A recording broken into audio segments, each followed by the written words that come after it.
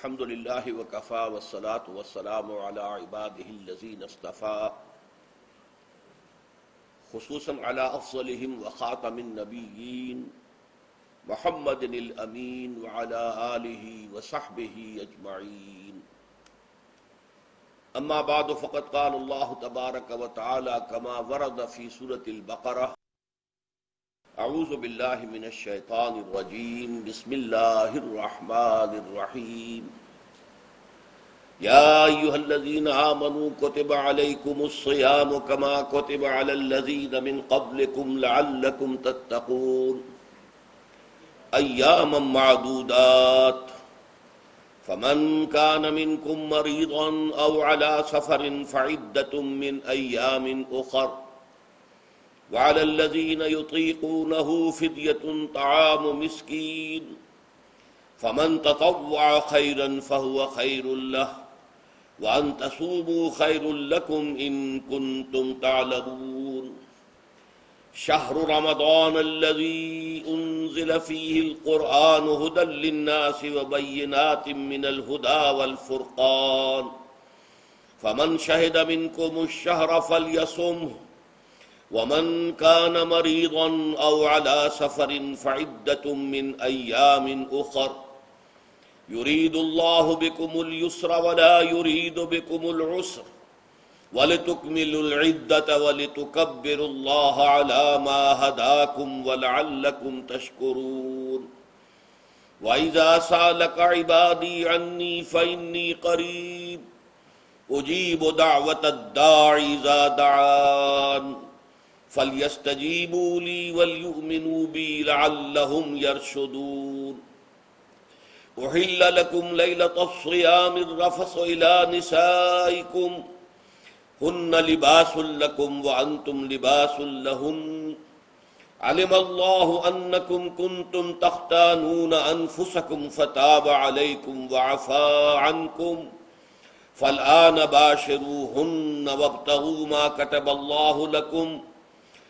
वकुलू वशरबू हत्ता यतबयन लकुमुल खैतुल अबयद मिनल खैतिल अस्वद मिनल फज्र सुम्म अतिम्मुस सियाम इलल लैल वला तुबाशिरूहुन्न व अंतुम आकिफून फिल मसाजिद तिल्क हुदूदुल्लाह फला तक़रबूहा कज़ालिक युबय्यिनुल्लाहु आयातिही लिन्नास लअल्लहुम यत्तक़ून वला तकुलू अमवालकुम बैनकुम बिलबातिल वतुदलू बिहा इलल हुक्काम लिताकुलू फरीक़म मिन अमवालिन नास बिल इस्म व अंतुम तालमून सदक़ल्लाहुल अज़ीम वअन सलमान अल फारिसी रज़ी अल्लाह तआला अन्हु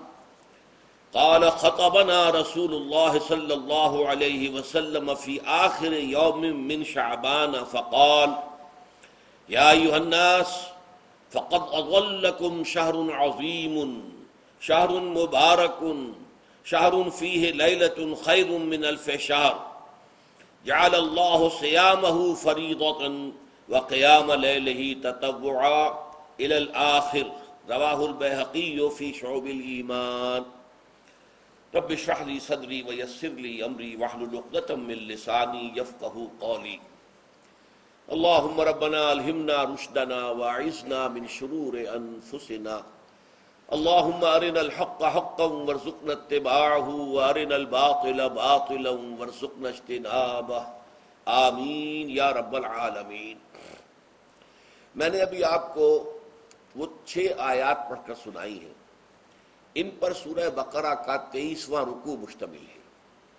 और एक एतबार से ये पूरे कुरान में मुनफरिद है कि इसमें दीन इस्लाम के जो पाँच अरकान हैं, आपको मालूम है उनमें कलम शहादत है, नमाज़ है, रोज़ा है, ज़क़़त है, हज है। तो इनमें से एक रुकन जो है, सयाम, रोज़ा, उसके बारे में उसके जुमला अहकाम, इब्तदाई अहकाम क्या थे, तकमीली अहकाम क्या थे, फिर उसकी हमत दर्जा बदर्जा रोज़ा, महज रोज़ा होता तो उसकी हमत क्या थी, मकसद क्या था? और रोज़े के साथ रमज़ान मुबारक का प्रोग्राम, त्यागुल लैल को शामिल किया गया तो उसका मकसद क्या है? उसका मतलूब क्या है? उसका मकसूद क्या है? ये सारी चीज़ें जो है वो एक मकाम पर आ गई। नमाज़ के बारे में आपको मालूम है कि उसका हुक्म तो बेशुमार जगह आया है, लेकिन अहकाम, वज़ू के हुक्म कहीं और है। नमाज़ सफ़र की उसका हुक्म कहीं और है, नमाज़ खौफ का हुक्म कहीं और है तो मुख्तलिफ़ मालूम होता है कि वो और औकात जो है नमाज़ के, वो मुख्तलिफ़ मकाम से अखज़ किए गए हैं। किसी एक जगह पर तफसील के साथ पाँच जो नमाज़ के औकात हैं, वो मौजूद नहीं है। तो इस एतबार से वो कुरान मजीद के अंदर वो मामला जो है मुंतशिर है।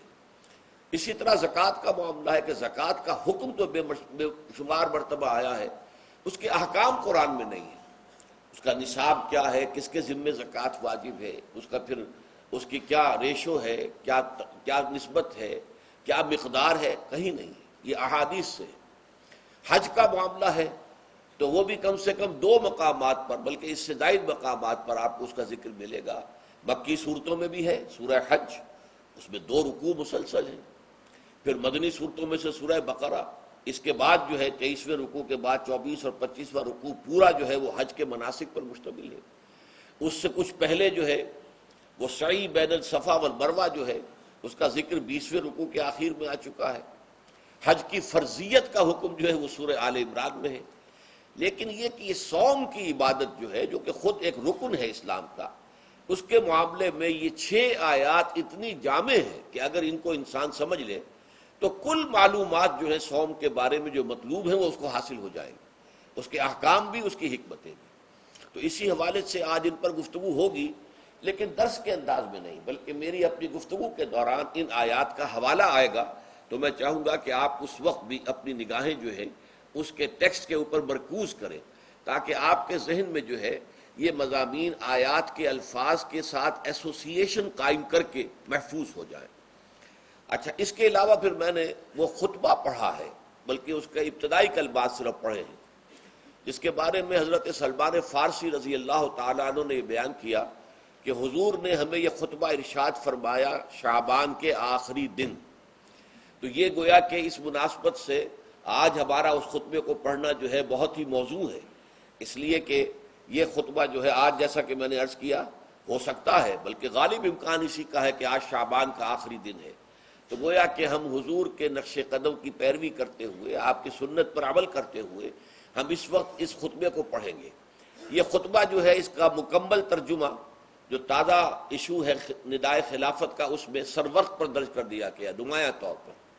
फिर हमने एक चार वर्क़े की हैसियत से किताबचे की शक्ल में भी इसको शाये किया है। बदकस्मती से उसका अहतमाम नहीं हो सका कि वो यहाँ सब के लिए पेश किया जाता। लेकिन यह कि कुछ न कुछ नुस्खे उसके यहाँ आए हैं, उसमें भी ये पूरा खुतबा दर्ज है। फिर एक नाशिर ने, जिनका ताल्लुक ऐसे तंजीम इस्लामी के साथ है, इसको खूबसूरत अंदाज में शाये किया है चार वर्क़े को, लेकिन उसकी उन्होंने कीमत रखी है कि इसके दस नुस्खे दस रुपए में आपको मिल जाएँगे, ताकि आप ज़्यादा से ज़्यादा लें और ताकि लोगों में तकसीम करें, ताकि वो जहनी तैयारी जो है, जहनी और कलबी और रूहानी रमज़ान मुबारक की बरक़ात से सही तौर पर मुस्तफ़ होने के लिए उसमें आपके दोस्त अज़ा व कारिब रिश्तेदार भी शरीक हो सके। मैं सबसे पहले अब आगाज़ कर रहा हूँ इसी खुतबे के उन अल्फाज से कि जो यहाँ पर दर्ज है, आप भी उसकी मतन पर निगाह रखिए। अन सलमान अल फारसी रज़ी अल्लाह हज़रत सलमान फ़ारसी रज़ी अल्लाह तहों से ये रिवायत है। हज़रत सलमान, आपको मालूम है कि ईरान में पैदा हुए और उनके वालिद जो हैं वो आतिश कदे के बड़े ज़िम्मेदार आदमी थे, लेकिन इनकी, इनको नफरत पैदा हुई कि ये आग हम खुद जलाते हैं, ईंधन उसमें न डालें तो बुझ जाती है। हम कैसे इसके सामने हाथ जोड़कर खड़े हो जाएँ उससे दुआएँ मांगें? बहरहाल इस बिना पर जो भी चपकलिश हुई तो जैसे हज़रत इब्राहिम अलैहिस्सलाम को उनके वालिद ने घर से निकाल दिया था, इन्हें भी घर से निकलना पड़ा। जैसे हज़रत इब्राहिम ने फिर हिजरत की थी और वो इराक से जो है शाम की तरफ़ मुंतकिल हुए थे तो ये ईरान से शाम की तरफ़ मुंतकिल हुए। वहाँ जाकर उन्होंने ईसाइत का मज़हब इख्तियार किया, राहिबों के पास रहे। आखिरी राहिब जिसके पास थे, जेर तरबियत और तालीम थे। तो जब उसके इंतकाल का वक्त आया तो इन्होंने कहा कि मुझे तो अभी तशफ़ी नहीं हुई पूरे तौर से। आपने बहुत कुछ सिखाया है, बहुत कुछ समझाया है। और मैंने आपसे बहुत कुछ फैज़ हासिल किया है, लेकिन अभी तो मुझे तशफ़ी नहीं हुई। अब आपका इंतकाल हो रहा है, मैं आपके बाद किसके पास जाऊँ? तब उसने कहा कि मेरा इल्म मुझे बताता है कि नबी ये आखिर जमान का जहूर अब करीब है और वो जनूब में खजूरों की सरजमीन में होगा। तो तुम जाओ ट्राई योर लक जाओ, देखो शायद किस्मत तुम्हें उनके कदमों में पहुँचा दे। तो वो वहाँ से रवाना हुए। एक काफले के साथ, काफले पर डाकुओं ने हमला किया, इन्हें पकड़कर गुलाम बना लिया, गुलाम बनाकर बेच दिया। लेकिन ये देखिए, किस्मत उनकी कि मदीने के यहूदी ने खरीद लिया। अब मदीने पहुँच गए। अब वहाँ खबरें इन्हें मिल रही हैं कि मक्के में किसी साहब ने दावा किया है नबूवत का। लेकिन इनके पाँव में तो गुलामी की बेड़ियाँ ये मक्के तो नहीं जा सकते। तो मैं कहा करता हूँ कि ये इस शख्स की किस्मत है कि जैसे हम कहते हैं कि प्यासा कुएँ के पास जाया करता है, कुआँ तो प्यासे के पास नहीं आता। लेकिन यहाँ क्या हुआ? कुआँ चलकर प्यासे के पास पहुँचा है। मोहम्मद रसूलुल्लाह सल्लल्लाहु अलैहि वसल्लम हिजरत फरमाकर मदीने तशरीफ़ ले आए। तब इन्होंने अपने आका से एक रोज कुछ थोड़ी सी खजूरें मांगी, ली और इजाज़त तलब की और जाकर हुजूर की खिदमत में पेश की। क्योंकि उसने ये बताया था राहिब ने कि वो हदिया तो कबूल कर लेंगे, सदकात कबूल नहीं करेंगे, सदका कबूल नहीं करेंगे। तो इसी इम्तिहान के लिए जाकर हुजूर की खिदमत में वो खजूरें पेश की। हुजूर ने पूछा, क्या है? अर्ज़ किया, सदका। फरमाया, नहीं, मैं सदका कबूल नहीं करता, ये गरबा का हक है, दे दो, तकसीम कर दो। फिर कुछ अरसे के बाद फिर कुछ खजूरें ली होंगी अपने उस आका से फिर पहुँचे। फिर जब हुजूर ने पूछा, क्या है? अर्ज़ किया कि ये हदिया। आपने फरमाया हाँ ठीक है। हदिया मैं कबूल करता हूँ। तो फ़ौरन कदमों में गिर गए, ईमान ले आए। और इनका मामला जो है, ये भी जान लीजिए कि ये फ़कराए सहाबा में से थे, जो कोई काम नहीं करते थे। हम वक्त हुजूर के साथ रहना। और इस एतबार से हुजूर ने इनके बारे में ये भी कहा है कि सलमान मिन्ना मिन अहलिल बैत। सलमान जो है वो हमारे अहल बैत में शामिल है रज़ी अल्लाह उनकी रिवायत है, काला खतबना रसूल सल्लल्लाहु तो वो फरमाते हैं कि हमें खुतबा इरशाद फरमाया, नबी अकरम सल्लल्लाहु अलैहि वसल्लम ने शाबान के आखिरी दिन फ़काला और फरमाया, या यानास ए लोगो कद अजुल्लकुम शहरुन अजीम। तुम पर एक अजमतों वाला महीना साया फगन हो गया है। जिल कहते हैं साय को। अजल्लकुम तुम पर साया फगन हो गया है। एक बहुत अजमतों वाला महीना। अब देखिए, ये वही है बात जो अंग्रेज़ी के मुहावरे में है कि coming events cast their shadows before आने वाले वाकयात का एक साया सा पहले से पड़ जाता है। तो अभी महीना शुरू नहीं हुआ रमज़ान मुबारक का, लेकिन वो आया चाहता है। तो गोया कि उसका एक साया पहले आ गया है, जिसको हजूर फरमा रहे हैं कि तुम पर साया कर लिया है एक ऐसे महीने में कि जो बहुत अजमतों वाला है। शहरुन मुबारक वो महीना बहुत बरकतों वाला है। शहरुन फ़ी लैलतुन खैर मिन अल्फार ये वो महीना है कि जिसमें एक रात वो भी है कि जो हज़ार महीनों से अफजल है। और ये ज़ाहिर बात है, कुरान मजीद की सूरत है मुकम्मल। इन्नाकद्र वमा अदरा कमा ललतुल्क़द्र ललतुल्क़द्र खैर मिन अल्फार उसकी तरफ़ इशारा है। अब उसके बाद जो जुमला है जाल अल्लाह सयामहू फरीजतन। अल्लाह ने इस महीने का रोजा रखना फ़र्ज़ करार दे दिया है। वह क्याम लैल ही, एक तो क्याम लैल के लफ्ज पर गौर कीजिए। और इसकी रातों के दौरान खड़े रहने को तत्वन आज़ाद मर्ज़ी पर छोड़ दिया है। तो गोया के इस रमज़ान मुबारक के दो प्रोग्राम है। एक प्रोग्राम दिन से मुतालिक है, वो है रोजा। और एक क्याम रात से मुतालिक है, और वो है क्याम दिन का प्रोग्राम फ़र्ज़ है। रात का प्रोग्राम फ़र्ज़ नहीं है।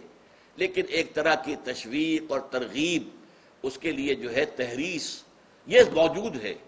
वरना तो यह है कि हर रात जो है, उसमें तहजद आप पढ़े, रात को खड़े रहे। वो अल्लाह ताला को बहुत पसंदीदा है।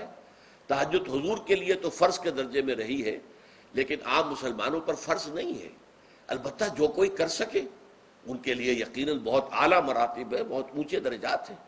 तो वो तो किसी भी शब्द में, पूरे साल आप करें। लेकिन इसके लिए खास तौर पर चूँकि एहतमाम किया गया, लिहाजा जादा का जो फेल है उसके मफूल में जहाँ ये शामिल है। नंबर एक जाल अल्लाह सयामहू फरीजतन, रोजा रखना फ़र्ज़ करार दे दिया। और उसकी रातों को खड़े रहना, ये तुम्हारी मर्ज़ी पर छोड़ दिया, इसे फ़र्ज़ नहीं किया है। बस इस तमहीद के बाद अब मैं शुरू करूँगा इस्तकबाल रमज़ान के ज़िमन में। रोज़े के, की हमतें क्या हैं, उसके अहकाम क्या हैं? नंबर एक शरीयत मोहम्मदी में रोज़े की तदरीजी फर्जियत। ये जो तमहीबी मजमून है इस ज़मन में, वो बहुत अहम है। पहली बात ये जान लीजिए कि अहल अरब जो है, कुरैश भी अहल मक्का और कुरैश के ताबे, बकिया तमाम बनी इस्माइल भी, और उनके ताबे, जो भी अरब में दूसरे कबीलों के लोग थे कि जो अरबी थे और मुशरक थे, वो सब इसके अंदर मुराद हैं। तो फरमाया गया कि उस इन इन लोगों में रोज़े की इबादत मारूफ नहीं थी। या तो यह है कि हज़रत इब्राहिम अलैहिस्सलाम के ज़माने में रोज़े की इबादत थी ही नहीं, क्योंकि ये लोग अपने कौल के मुताबिक मिल्लत इब्राहिम पर थे। लेकिन यह है कि बहरहाल रोज़े की इबादत से ना आशना थे। क्या वजह है, ये हम नहीं जानते। आपको मालूम है, नमाज़ से वो वाकिफ थे। अगरचे उसका हुलिया उन्होंने बिगाड़ दिया था। तालियाँ बजाते थे, सीटियाँ बजाते थे। ये, लेकिन नमाज़ कहते थे उसे नमाज़। तवाफ से वो वाकिफ थे। अगरचे उसके जीवन में इतनी घिनावनी हरकत भी की थी कि मर्द और औरतें वो बिल्कुल ब्रहना होकर तवाफ करते थे तो इसे बहुत फजीलत वाली बात समझते थे। बहुत खुदा रसीदगी की बात समझते थे कि काबिल ब्रहना होकर तवाफ किया जाए। लेकिन बहरहाल तवाफ था। इसी तरह क्याम अरफा, क्याम मिना, ये भी मौजूद थे। तो हज के भी बहुत से अरकान जो है, वो उनके यहाँ मारूफ थे। और वैसे खैरात सदक़ात चाहे ज़क़़त एक ख़ास निज़ाम के तहत नहीं थी, लेकिन ज़क़़त और सदक़ात, भूखों को खाना खिलाना, ये उनके यहाँ आला अकदार में ये चीज़ें शामिल थी, अखलाकियात के ऊँचे मकाम में, कि सोम का उनके यहाँ कतन कोई ज़िक्र नहीं था। रोज़े की इबादत जो है उनके यहाँ बिल्कुल नहीं थी। अलबत्ता सोम का लफ्ज़ मौजूद था। ये लफ्ज़ वो इस्तेमाल करते थे अपने घोड़ों के लिए, रोज़ा रखवाते थे घोड़ों को। इसका पस मंजर ये है कि उनके यहाँ आपको मालूम है कि लड़ाई, दंगा, फसाद, जंग और ये कि गारत गरी करना लूट मार करना, ये ये तमाम इन अरब कबाइल का पेशा था। असल पेशा यही था। इसमें इनके पास दो जानवर थे। एक तो ऊँट। ऊँट जो है वो उनकी जो बाबो हवा है और उनके जो हालात हैं, उसके साथ पूरी मुताबिकत रखता है। यानी उसे कई कई दिन खाने को न मिले, उसे परवाह नहीं। हफ़्ता हफ़्ता भर पानी ना मिले, उसे कोई परवाह नहीं। इस एतबार से धूप की कितनी ही जो है तपिश ऊँट को कुछ नहीं कहती। लेकिन यह कि वो सुस्त रफ्तार जानवर है। लड़ाई के लिए, जंग के लिए खास तौर पर गारत गरी जहाँ करनी हो, जहाँ जाकर गोया कि डाका मारना फिर दौड़ना है, भागना है, वापस जाना है। तो उन्हें घोड़े की ज़रूरत होती थी, जो सरीउल रफ्तार है। लेकिन घोड़े में ये औसाफ नहीं थे। वो भूख को बर्दाश्त नहीं कर सकता मुजमहिल हो जाएगा। वो प्यास को बर्दाश्त नहीं कर सकता, मुजमहिल हो जाएगा। वो धूप को बर्दाश्त नहीं कर सकता, मुजमहिल हो जाएगा। और अगर ये घोड़ा मुजमहिल हो जाए तो सवार का क्या हशर होगा? वो आप उससे अंदाज़ा कर लीजिए कि असल में तो फिर हलाकत सवार की होगी। इसलिए वो इसे तैयार करते थे जंग की सऊबतों को बर्दाश्त करने के लिए। उसका दाना पानी बंद कर दिया। और उसका मुँह जो है, वो अरब बद्दू जो होता था, खुद तो अपना चेहरा और सर लपेट लेता था कपड़े के अंदर। जब वो चलती थी, उनके यहाँ बाद समूम, तेज आग जैसी हवा जो है, जिसके अंदर रेत के जर्रात भी ऐसे होते थे, गोया कि किसी भाड़ की जो है, उसके अंदर की रेत जो है, वो चली आ रही है। तो घोड़े का रुख उधर करके खड़े कर देते थे उसको। खुद अपने मुँह पर डाटा वाटा बांधा हुआ अपनी हिफाजत के लिए, ताकि इसके अंदर धूप की सख्ती बर्दाश्त करने की आदत पैदा हो जाए। प्यास की बर्दाश्त करने की आदत पैदा हो जाए। भूख को बर्दाश्त करने की, इसको कहते थे सौम। सौम के लफ्जी मानी रुक जाना। अब ये खाने पीने से रुका हुआ है और ये धूप की सख्तियाँ बर्दाश्त करने के लिए धूप के अंदर और वो जो आती थी वहाँ पे बाद समूम, उसके अंदर भी उसका सामना करने के लिए तैयार है। तो ये पस मंजर है रोज़े का लघवी एतबार से और ये कि अहले अरब जो है पुराने, वो इस इबादत से नावाकिफ थे। लिहाजा हमें पूरे बक्की कुरान में इसका कहीं ज़िक्र नहीं मिलता। अलबत् मदीने में जब हजूर तशरीफ़ लाए और साहबा कराम हिजरत के बाद तो यहाँ आपने देखा कि यहूदी जो है वो रोज़ा रखते हैं।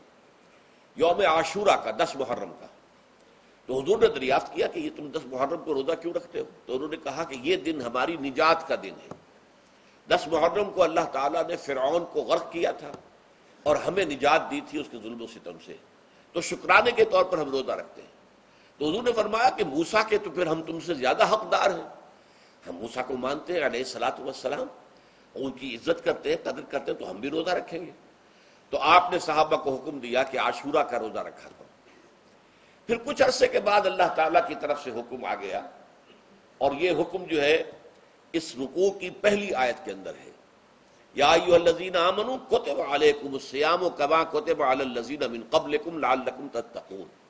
लेकिन जैसा कि मैं बाद में बताऊँगा, ये हुक्म सौम रमज़ान का नहीं है, बल्कि ये कि अल्लाह के हुक्म से पहले तीन दिन के रोज़े फ़र्ज़ किए गए। हर महीने की तेरहवीं, चौदहवीं और पंद्रहवीं तारीख को रोजा रखो। इसमें बड़ी हिकमत थी, चूँकि ये अरब आदि नहीं थे रोज़े के तो इन्हें तदरीजन खूकर करना था। ज़ाहिर बात है कि तीस दिन जो है, वो तो एक बड़ी मुद्दत है। और ज़ाहिर बात है कि मई का महीना भी आ जाएगा, उसमें जून भी आएगा, जुलाई भी आएगा, क्यामत खेज महीने आ जाएँगे। तो बड़ी हिम्मत जवाब दे जाएगी तो पहले रोजा, हर महीने तीन रोज़े रखने की इनको मश्क कराई जाए, ताकि ये आदि हो। ये तीन रोज़े अगर मई में भी आ गए, जून में भी आ गए, तब भी ठीक है। उसको इंसान तीन दिन की तो मुशक्कत बर्दाश्त कर सकता है। तो पहले ये किया गया। लेकिन इसके जिमन में ये हुक्म दे दिया गया, इसको कहते हैं वजूब अलग तखीर ये इख्तियार दे दिया गया कि ये तीन रोज़े तुम पर वाजिब किए जा रहे हैं, लेकिन ये कि अगर तुम ये रोज़े न रखो तो तुम फिदिया दे सकते हो एक मिस्कीन को खाना खिलाना सुबह शाम। यह है वजूब अलग तखीर। दूसरी रियायत यह दी गई कि अगर कोई शख्स इन तीन तारीखों में बीमार हो या सफ़र पर हो तो वो तादाद दूसरे दिनों में पूरी कर ले। ये है गोया कि सबसे पहला हुक्म जो दिया गया है, और इसके जुम्मन में अब मैं चाहता हूँ कि आयत नंबर दो आप अच्छी तरह पढ़ लें। अपना सामने रखिए और उसके हवाले से ये बात समझ लीजिए। अयाम मादूदात। ये दिन है चंद गिनती के। मुझे हैरत होती है कि जदीद जो मुफसरीन हैं, जिन्होंने उर्दू में तर्जुमे किए हैं, तफसीरें की हैं, उन सब के निगाहों से यह बात ओझल रही कि यह दर हकीकत रमज़ान के रोज़े का ज़िक्र नहीं है, बल्कि उस इब्तदाई हुक्म से मुतल है कि जो हर महीने में तीन दिन के रोज़े रखने का हजूर ने दिया था। लेकिन यह कि मेरा अपना ज़ाती वाक़ ये है ज़िंदगी का और ये अहम वाक़ात में से है। मैं जब मेडिकल कॉलेज में पढ़ता था, समझिए उन्नीस बीस साल की मेरी उम्र, उस वक्त भी मुझे ये एहसास हुआ था कि ये जो दो आयात आई हैं यहाँ एक दूसरे के तकाबुल में, ये बैक वक्त नाजिल नहीं हो सकती, इनमें वक्फा होगा। और यकीनन पहला हुक्म किसी और पस मंजर में है, दूसरा हुक्म जो बाद में हम देखेंगे, वो किसी और पस मंजर में है। तो मेरी राय ये थी, और मैं इस पर कायम भी था, बयान भी करता था, लेकिन डरता था। इसलिए कि उस वक्त तक जितनी तफसीरें मैंने देखी थी, तर्जुमे देखे थे, उनमें से किसी ने ये बात कही नहीं थी। तो एक आदमी अपनी राय के ऊपर इतनी बड़ी बात कह दे तो मैं डरता रहता था, लेकिन कहता था कि मेरी राय यही है। फिर इतफाक से जमात इस्लामी हिंद का तर्जुमान होता था, माहनामा ज़िंदगी। अरूज अहमद कादरी साहब उसके मुदीर थे। वो जो एक पर्चा आया, उसमें उन्होंने तनकीद की थी मौलाना सैयद अनवर शाह बुखारी रहमत पर, कि उन कश्मीरी रहमत से। उनके ऊपर ये ये तनकीद की थी कि उन्होंने ये अजीब बात कह दी है कि ये जो हुक्म है, ये रमज़ान का नहीं है, बल्कि रमज़ान से पहले जो हुजूर ने हुक्म दिया था, तीन दिन के रोज़े रखने, उससे मुतल है।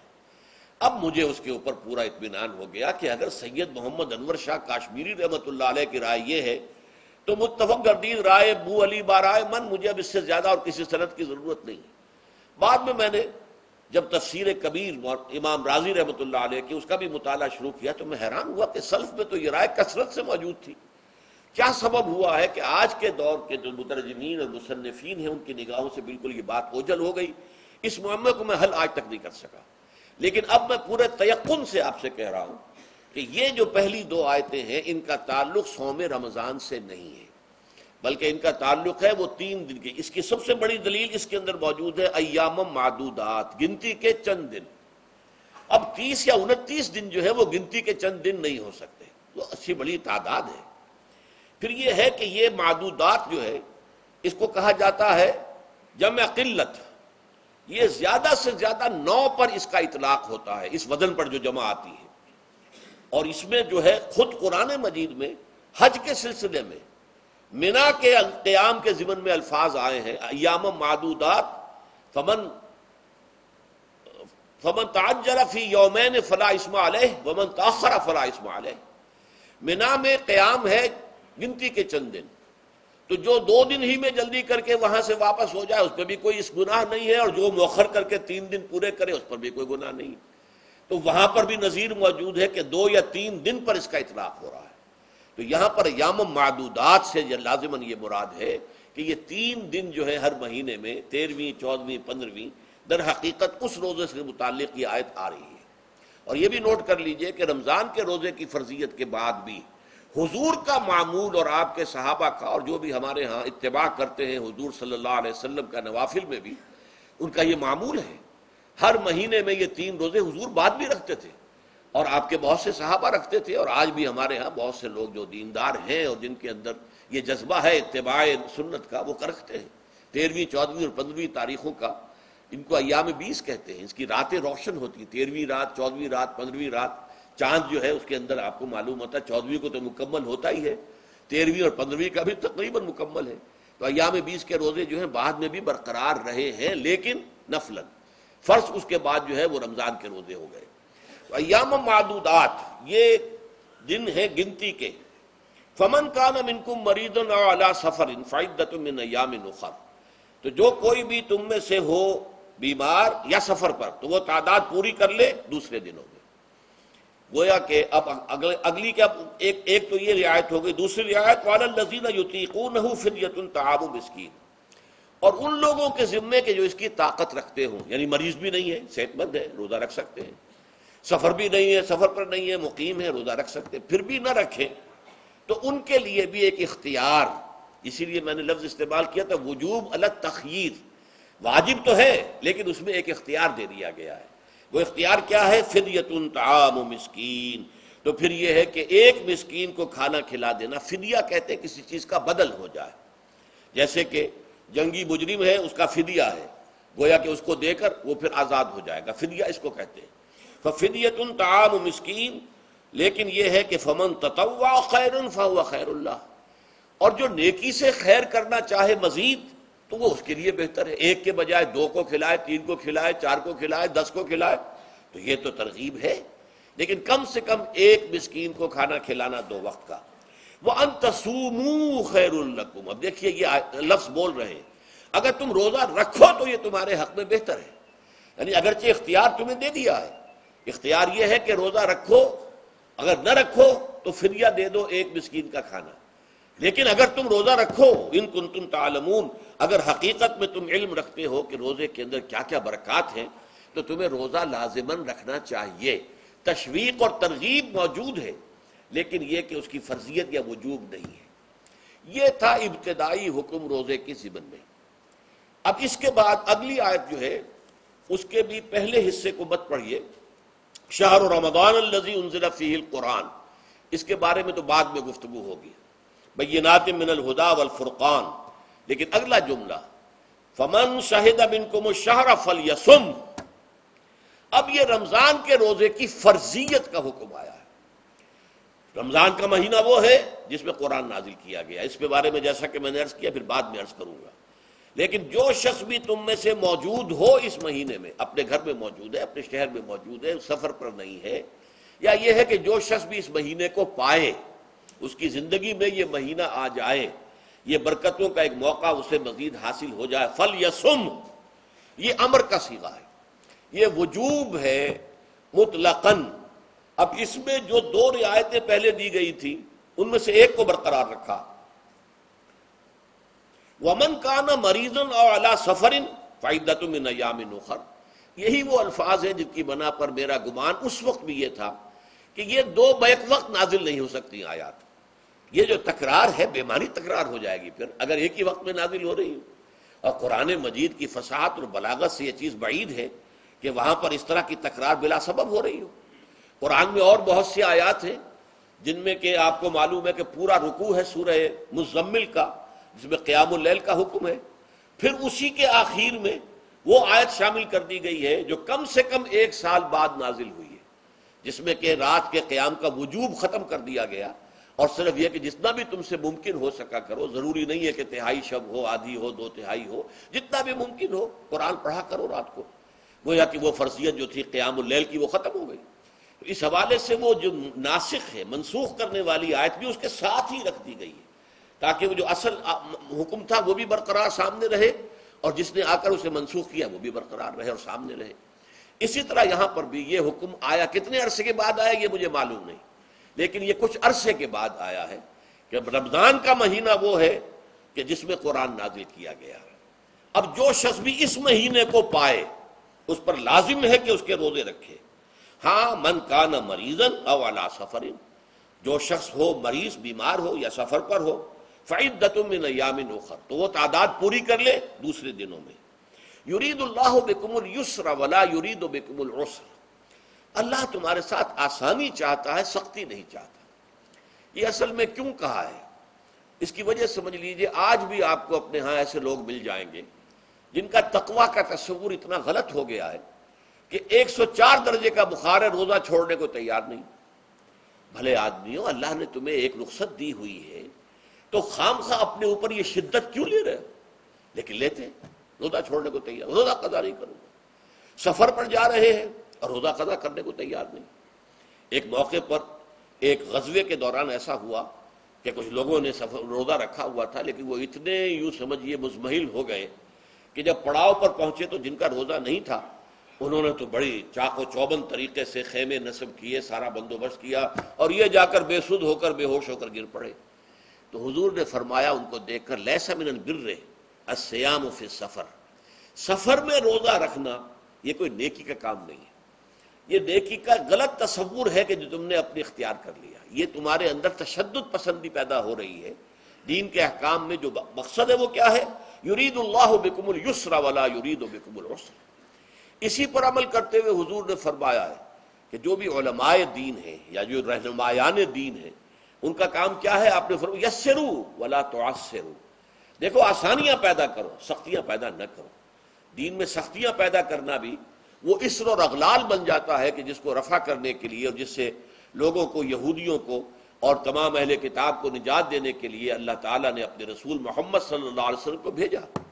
व यजाहम इसरहम वलालती कानत कि जहाँ वो नेकी का हुक्म देते हैं, बदी से रोकते हैं पाकिजा चीज़ों को हलाल ठहराते हैं और खबीस चीज़ों को, नापाक चीज़ों को हराम करार देते हैं।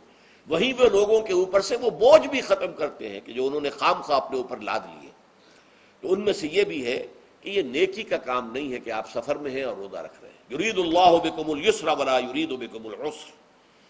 वले तुकमिलुल लेकिन ये बात वाजे रहे कि अब तुम्हारे लिए तादाद को पूरा करना लाजिम है। ये नहीं है कि आप उसकी जगह पर फिदिया दे दो तो बात पूरी हो जाएगी। नहीं।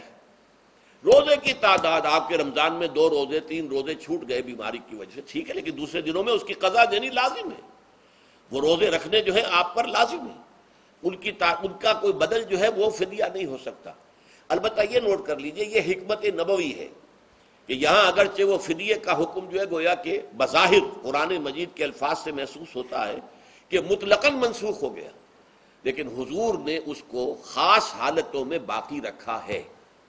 कोई शख्स इतना बूढ़ा हो चुका है या खातून इतनी बूढ़ी हो चुकी है कि दिन भर का फाका जो है उसमें अंदेशा है कि कहीं हलाक ना हो जाए।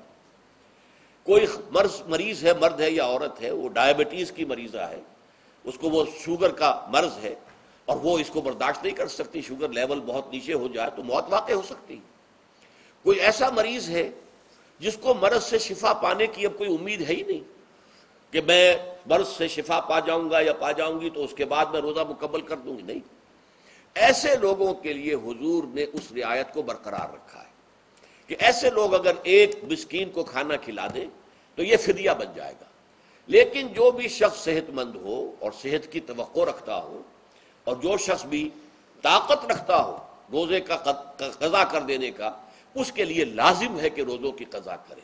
वले तुकमिलता वले तुकबरदाकुम और ताकि तुम अल्लाह की किबरियाई का ऐलान करो, उस चीज़ पर कि जो उसने तुम्हें हिदायत अता फरमाई है। अब इसका एक तो ज़ाहिर है कि जब रोज़े खत्म होते हैं ईद फितर में, तकबीर, इजाफी तकबीरात के साथ दो रकतें हैं जो हम अदा करते हैं। अहनाफ के नज़दीक छः इजाफी तकबीरात हैं और अहले हदीस के नज़दीक बारह हैं, लेकिन तकबीरात हैं इजाफी। और ये कि जाते हुए और आते हुए ईद के लिए आप जा रहे हैं तो तकबीरात पढ़ते हुए जाइए। वापस आ रहे हैं, तकबीर पढ़ते हुए आइए। और ये भी कि जाते हुए रास्ता कोई और, आते हुए रास्ता कोई और। इख्तियार कीजिए, ताकि पूरा शहर, पूरी बस्ती जो है तकबीर की आवाज़ से गूंज जाए। ये ज़ाहिर है, बातिन इसका क्या होगा? अल्लाह की किबरियाई का ऐलान करो, अल्लाह की किब्रियाई को नाफिज करने की कोशिश करो। जब अल्लाह ने तुम्हें हिदायत दे दी है, तुम्हें अपने दीन हक से नवाज़ दिया है तुम्हारा फ़र्ज़ है कि उसको कायम करो। उसके लिए जिद्दोजहद करो। उसके लिए तन मन धन लगाओ। उसके लिए जान और माल से जिहाद करो। बोले तो और ताकि तुम वाक़ तन शुक्र करो। इस पर भी गुफ्तगु बाद में होगी। ये हिकमत सोम के हवाले से है ये लफ्ज़। उसके बाद जो है एक आयत छोड़कर फिर अगली पांचवी आयत पढ़िए। यह है तकमीली अहकाम। इब्तदाई अहकाम आ गए।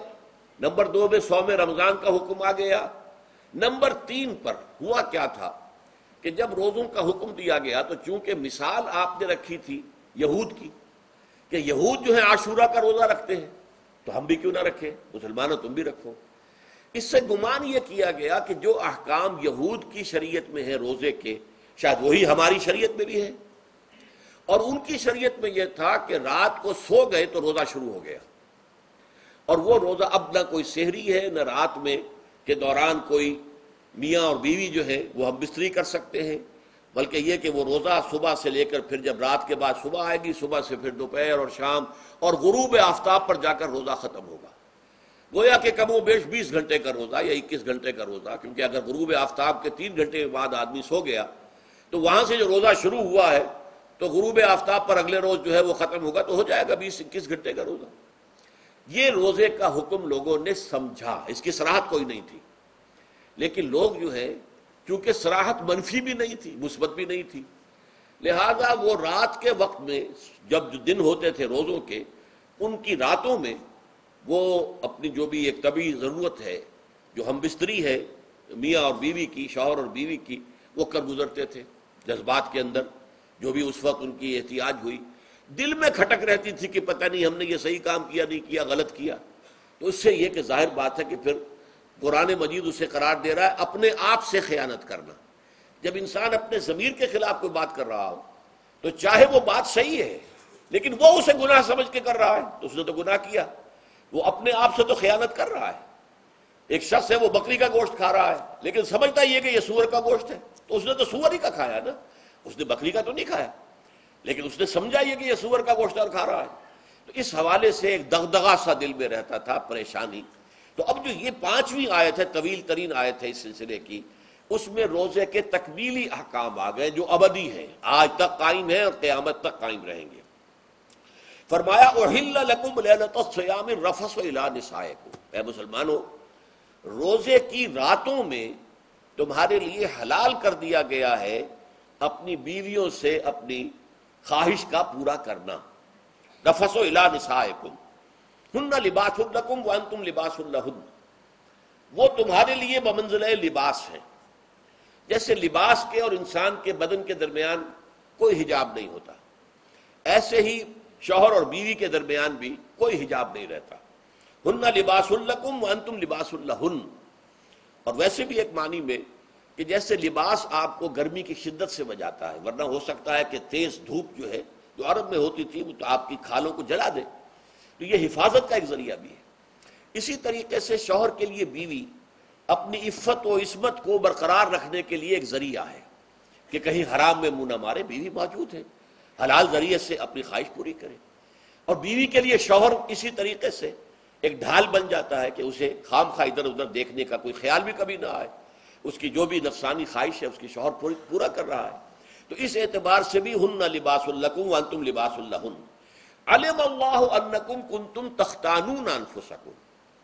अल्लाह के इल्म में है कि तुम अपने आप से खयानत कर रहे थे। इसकी वजाहत मैं पहले कर चुका हूँ कि दिल में यह दगदगा था कि यह हराम काम और कर रहे हैं। ये गोया कि अपने आप से खयानत। अल्लाह से बगावत नहीं थी। क्यों? कि अल्लाह ताला की तरफ़ से तो हुक्म तुम्हें मालूम था ही नहीं अभी। आया इसकी इजाज़त है या नहीं है? लेकिन अपने आप से तो खयानत कर रहे हो ना। तुम ये समझ रहे थे कि ये नहीं होना चाहिए, ये गोया के ममनू है और कर रहे थे। तो इसको कहा कि तुम अपने आप से ख्यानत कर रहे थे। तो अल्लाह ने तुम पर अपनी रहमत और मगफरत के साथ तवज्जो फरमाई। यानी जो कुछ अब तक हो चुका है, उसे अल्लाह ने मुआफ कर दिया। उसे साफ़ कर दिया। क्लीन स्लेट अब तुम्हारा जो अमाल नामा है उसमें इस तरह का अगर कोई अमल दर्ज हो गया है तो अल्लाह ने साफ़ कर दिया है। वह आफा अनकुम और तुम्हें माफ़ भी कर दिया है। फल आना बाशरू हन्ना तो अब तुम उनके साथ जो भी ताल्लुक जनुशो है, उसको इख्तियार कर सकते हो। फल आना बाशरू हन्ना वब तगु मा कतब अल्लाकुम और हासिल करो वो कुछ जो कुछ अल्लाह ने तुम्हारे लिए लिख दिया है। ये ताल्लुक जनुशह से दो चीज़ें हैं कि जो मकसूद है। एक तो सब जानते औलाद हर इंसान की ख्वाहिश होती है कि मेरी नस्ल का तसलसल बाकी रहे। लेकिन नंबर दो एक शय और है। कुरान मजीद में बयान किया गया, बोले, तस्कुनू इलेहा। इसमें एक सुकून है। इसमें जो भी है, जो भी अमल है मुबाशरत का, इसमें एक आसाबी तौर पर सुकून की कैफियत इंसान को हासिल होती है। तो ये भी मतलूब मकसूद है।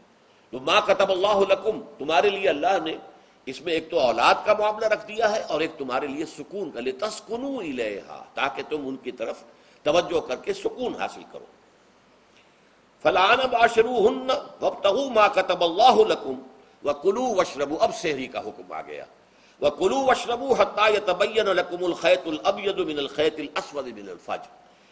खाते रहो और पीते रहो यहाँ तक कि तुम्हारे लिए फजर के वक्त के एतबार से सफ़ेद डोरी, सियाह डोरी से बिल्कुल अलहदा हो जाए।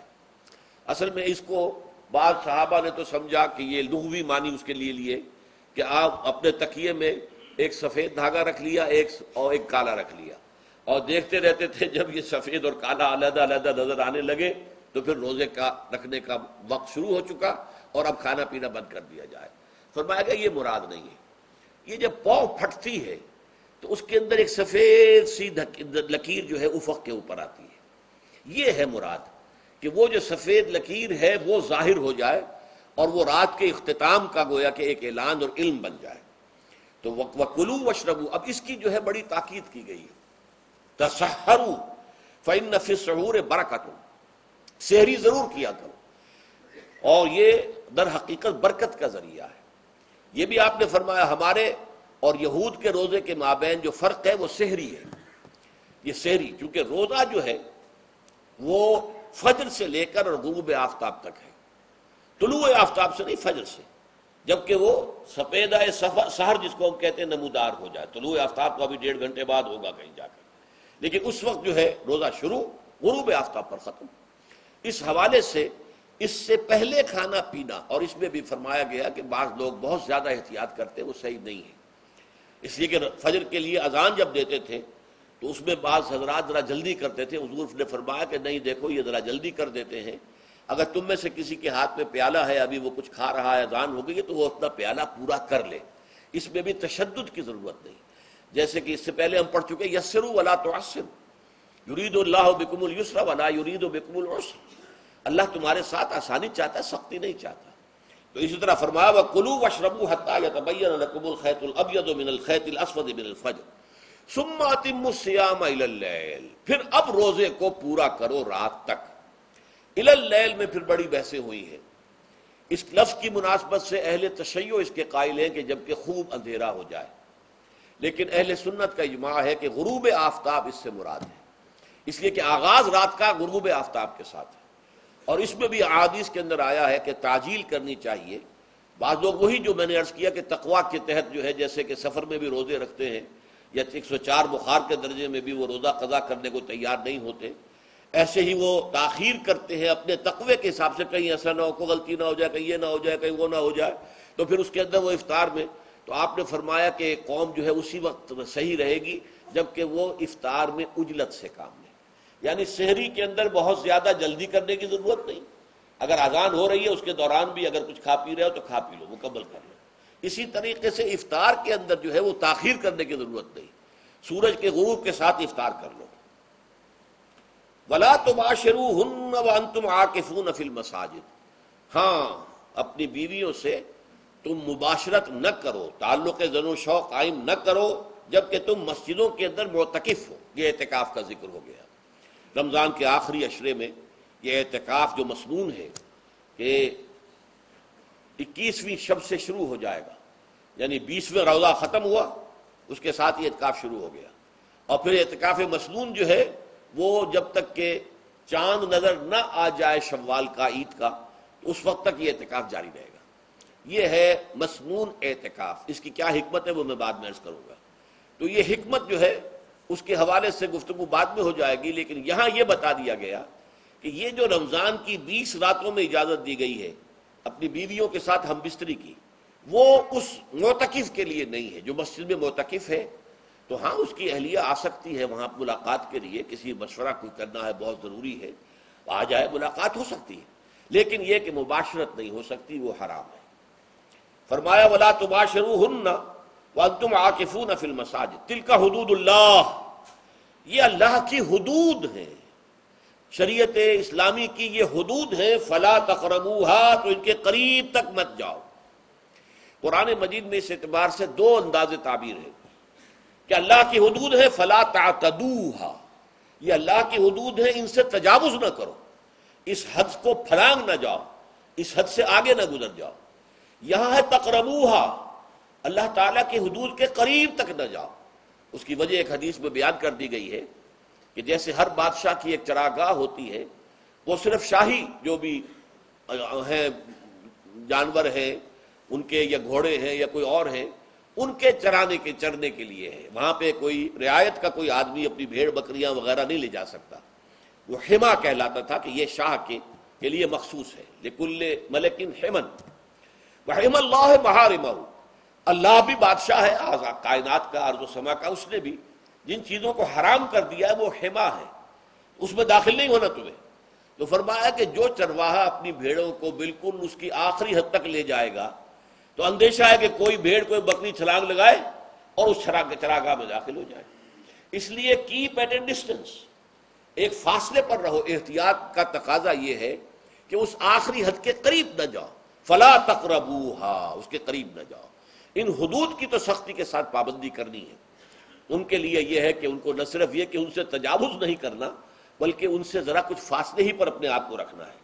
कजाल का आयात ही लिन्नास।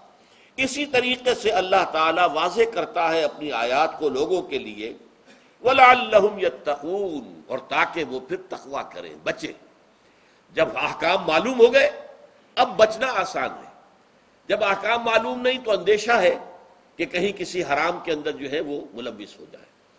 जैसे कि एक हदीस में आता है कि अल हलाल उबैन वल हराम उबैन वबैन हुमा मुश्तबहात हलाल क्या है? ये भी वाजे है। हराम क्या है? ये भी वाजे अलबत् इन दोनों के माबेन कुछ चीज़ें होती हैं मुतशाबहात। पता नहीं हलाल है कि हराम है? तो तुम बचो। उन चीज़ों से भी बचो। इसलिए कि उसके अंदर हराम होने का अंदेशा है ना। लिहाजा उनसे भी बचो। जो सरीहन हलाल है, उसी पर इतफाक करो। जिनके बारे में तयन नहीं हो पा रहा है कि वो हलाल है। अलबत् ये भी साबित नहीं हो रहा है कि वो हराम है। तो उनसे बच, ये तकवा का तकाजा अगरचे कानूनी एतबार से ये कहा जाएगा कि वो मुबाह है। जिस शय की हरमत का सबूत हमें किताब और किताबुल्ला और सुन्नत रसूल से न मिले, वो मुबाह है। लेकिन यह है कि तकवा का तकाजा ये कानूनी, कानून का तकाजा यह कि मुबाह को आप इख्तियार करेंगे तो आप पर गिरफ्त नहीं होगी। इसलिए कि उसकी हुरमत साबित नहीं है। लेकिन तकवा का तकाजा यह है कि आप सिर्फ़ उस शय पर इतफाक करें कि जिसकी, जिसके हलाल होने के लिए सबूत और दलील मौजूद है। तो यह है कि तिल का हदूदुल्लाह फला तकरबूहा कजाल का युबैनल्ला से आयात ही आयात ही यत्तकून। ये अहकाम है तकमीली रोज़े के, जिसके ज़िमन में मैंने कुछ अहादी से नबिया के हवाले से भी उनकी मजीद वजाहत कर दी। अब आइए तीसरी बात। रोज़े का असल हासिल क्या है? अब पहली आयत पर हमें तवज्जो देनी होगी। याजीन आमनु कुतबालकुमस्याम अहले ईमान तुम पर रोजा फ़र्ज़ किया गया, लिख दिया गया, तय कर दिया गया। अगरचे जैसा कि मैंने अर्ज़ किया, ये इब्तदाई हुक्म है और उसमें वजूब अलग तखीर, वो बाद में आ चुका दूसरी आयत में। कमा कुतबाजीर मिन कबल जैसे कि ये फ़र्ज़ किया गया था उन पर जो तुमसे पहले थे। यानी यहूद और नसारा, उन पर भी ये रोज़ा जो है, ये फ़र्ज़ था। अलबत् अहकाम मुख्तलिफ़ हो गए। जैसे जुमे का दिन और जुमे को छोड़कर यहूदियों ने सब्त का दिन इख्तियार किया, ईसाइयों ने जो है वो संडे को इख्तियार कर लिया। लेकिन अहकाम में फ़र्क है। वहाँ पूरे सब्त के दिन, हफ़्ते के दिन कारोबार दुनियावी मुतलकन हराम लेकिन हमारे यहाँ शरीयत के अंदर आसानी पैदा की गई कि सिर्फ़ जुमे की अजान से लेकर नमाज़ अदा हो जाने तक वो हराम है। लेकिन बाकी यह है कि उससे पहले भी अगर करो, और बाद में जब फैज़ा कुदरत सलाह तो फन तशरू फिल्द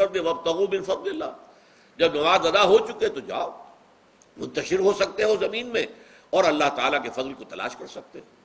तो इसी तरीके से अगरचे हुक्म रोज़ा जो है, वो तो सबका उम्मतों में भी था, लेकिन ये उसके अहकाम जो है, उनके अंदर तगैर तबदुल है। कुतबालकुम कमा कुतबाजीन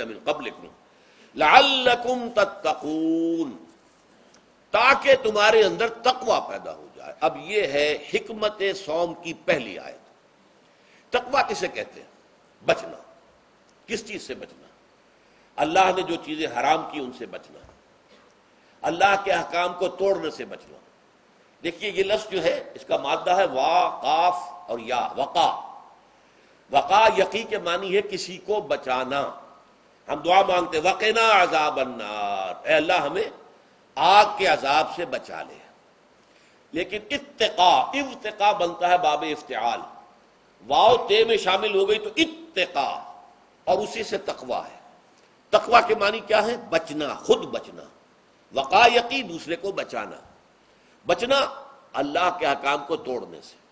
अल्लाह की हराम करदा चीज़ों में मुलविस होने से, अल्लाह के गजब से, गुस्से से, अल्लाह की नाराज़गी से, और आखिरत में अल्लाह के अजाब से यह बचने की रविश है। पूरी ज़िंदगी में भी इसको जारी रखो। ये तकवा ज़िंदगी में क्या होगा? अल्लाह के हकाम को तोड़ने से बचना। अल्लाह की हराम करदा चीज़ों में मुलविस हो जाना, उनका इस्तेमाल करना। खाने पीने से मुतालिक हो या वो शहवत से मुतालिक हो या किसी और चीज़ से मुतालिक हो, उससे बचना। और यह बचना जो है, आखिरत में नतीजा खेज होगा, जहन्नुम से बचाव हो जाएगा, आग के अजाब से निजात मिल जाएगी। अच्छा रोज़े का इससे ताल्लुक क्या है, ये समझ लीजिए। देखिए, हमारे गुनाहों का सबसे बड़ा सबब, हमारे नफसानी तकाजे हैं। हम एक हैवान भी हैं और हैवान से बढ़तर भी कुछ है, वो मैं बाद में अर्ज़ करूँगा। लेकिन हैवान तो है। जैसे हर हैवान को कुछ खुराक की ज़रूरत है, हमें भी ज़रूरत है। हर हैवान को बकाए नस्ल का मामला जिनसी है, वो हमारा भी है। हर हैवान को कोई ना कोई सर छुपाने की जगह चाहिए, कोई घोंसला हो, कोई खो हो, कोई बिल हो, कुछ भी हो, कुछ तो चाहिए आखिर। इसी तरीके से हमारे सारे तकाजे हैं। हैवानात को भी आराम चाहिए, हमें भी आराम चाहिए। ये हैवानी तकाजे जो है, जिनको हम कहेंगे एनिमल इंस्टिंक्ट्स हमारे वजूद के अंदर है ये, और इनका तकाजा हमारे अंदर से उभरता है। इसी को एंड लिबिडो कहा है, फ्राइड ने। जदीद नफ्सियात का बाबा आदम जो है वो फ्राइड है। उसने इसे इड और लिप्ट से ताबीर किया है। उससे ऊपर सेल्फ को लाया है। और उसके बाद जो है, वो सुपर ईगो है। तो ये तीन दर्जे उसने मुतन किए हैं। और मैं उसकी दिक्कत नज़र, एक्यूटी ऑफ़ ऑब्जर्वेशन का बहुत कायल हूँ। अगरचे नजरियात का जो नतीजा उसने निकाला है, वो गलत है। लेकिन एक्विटी ऑफ़ ऑब्जर्वेशन का कायल हूँ कि उसने इंसानी शख्सियत के तीन लेवल्स को आइडेंटिफाई किया है। यही तीन लेवल्स हमारे यहाँ नफ्स, कल्ब, रूह, ये तीन लेवल्स हैं। उसने कहा इड एंड लिबिडो ये लोएस्ट है। फिर ईगो सेल्फ फिर सुपर ईगो तीन लेवल वो भी मानता अगर उनकी ताबीर उसने गलत की है। लेकिन जहाँ तक इड और लिबिडो की ताबीर है, वो सही है। वो हैवानी तकाजे अच्छा इन हैवानी तकाजों के बारे में ये बात बिल्कुल वादे रहनी चाहिए कि ये अंधे बहरे हैं। इन्हें सिर्फ़ अपनी ग्रेटिफिकेशन अपने तस्कीन से जो है सारी बहस है। इससे कोई गरज नहीं कि हलाल ज़रिए से हो, हराम ज़रिए से हो। पेट खाने को माँगता है भूख के अंदर। अब आदमी जो है हराम के अंदर भी बीमार बैठता है। यहाँ तक कि खुद शरीयत इजाज़त देती है कि अगर जान पर बन जाए, आदमी जो है वो फाके से मर रहा हो तो वो कोई हराम चीज़ खाकर भी अपनी जान बचा सकता है। लेकिन आम हालात में नहीं। लेकिन हो सकता है हमारा चटखारा जो है वो हराम की तरफ़ हमें ले जाए। किसी को वाक्यतन अल्लाह ना करे कि सुअर के गोश्त का चस्का लग जाए, वो उसके बगैर बचता ही नहीं, खाता है। शराब की आदत हो गई, पीता है। ये नहीं। तो हमारा पेट माँगता है और उसे इससे गरज नहीं कि हलाल से खाया खाया है या आराम से खाया। हमारी शहवत अपनी तस्कीन चाहती है। उसे इससे गरज नहीं कि हलाल से या आराम से, जायज़ से या नाजायज से। इसी तरीके से हमारे तमाम तकाजे जो हैवानी हैं, एक तो यह कि बहुत जोरदार हैं। और चूँकि वो अंधे बहरे हैं, लिहाजा जो कुरान में कहा गया इन नफ्सला मारा तुम बिस्सू ये नफ्स तो बदी का हुक्म देता ही है। ये गोया कि उसके अंदर रुझान जो है इनहेरेंट है कि वो बदी की तरफ़ इंसान को तरगीब दिलाता है। चाहे वो अपनी ज़रूरत, ज़रूरियात से मुतक हो, चाहे चटखारों से मुतक हो, चाहे जो भी लज्जत उसे दरकार है उससे मुतक हो, चाहे वो जिनसी लज्जत है और चाहे वो ताम की, यानी जिसे हम कहते हैं कि इंसान जो है वो अपने पेट और फ़र्ज़ का गुलाम बनकर रह जाए। इसलिए कि जो तकादा भी आया है, उसको वो पूरा कर रहा है। ये जो कैफियत इंसान की है, इसके लिए एक मश्क जो है वो रोज़ा फराहम करता है। रोज़े के आपने 12, 13, 14 घंटे का भी रोजा होता है बाद जगहों पर 16, 17 घंटे का रोजा होता है। इस अरसे में आप अपने नफ्स को हलाल चीज़ों से भी रोके रखते हैं। इस मुँह घोड़े को मुँह ज़ोर घोड़े को जो है आप उसकी लगाम कस कर रखते हैं कि हलाल भी नहीं खाने दे रहे। भूख लगी हुई या खाना बेहतरीन मौजूद है नहीं खा सकते। अल्लाह का हुक्म नहीं अल्लाह की इजाज़त नहीं। शदीद प्यास है बेहतरीन मशरूबात फ्रिज में रखी हुई है। नहीं खा सकते, नहीं पी सकते, जायज़ नहीं है। हालाँकि हलाल है, आराम नहीं है। बीवी मौजूद है। या जैसे कि लौंडियों का मामला होता था, लौंडी मौजूद है। लेकिन नहीं, आप अपनी शहावत जो है, वो उससे पूरी नहीं कर सकते। ये पाबंदियाँ नफ्स के ऊपर लगाना, ये एक मशक है, ये एक रियाजत है। इस रियाजत का हासिल ये होना चाहिए कि इंसान बकिया ग्यारह महीनों में अपने आप को हराम से तो बचाए ना। यहाँ वो हलाल से रुका हुआ है, अल्लाह के हुक्म से। कि हलाल चीज़ भी नहीं खा रहा, दिन भर नहीं पी रहा, दिन भर नहीं अपनी कोई शहवत पूरी कर रहा, दिन भर हलाल जराए से भी। तो उससे उसके अंदर ये एक, इसको हम कहेंगे सेल्फ कंट्रोल पैदा हो जाए। अपने नफ्स को काबू में कर ले। ये गोया कि इसका सबसे पहला, इस रोज़े की रियाजत, रोज़े की मश्क के हवाले से ये उसकी हिकमत हुई कि इससे के ज़रिए से इंसान में सेल्फ कंट्रोल पैदा हो रहा है जब्त नफ्स। यहाँ पे थोड़ी सी मैं वजात कर दू।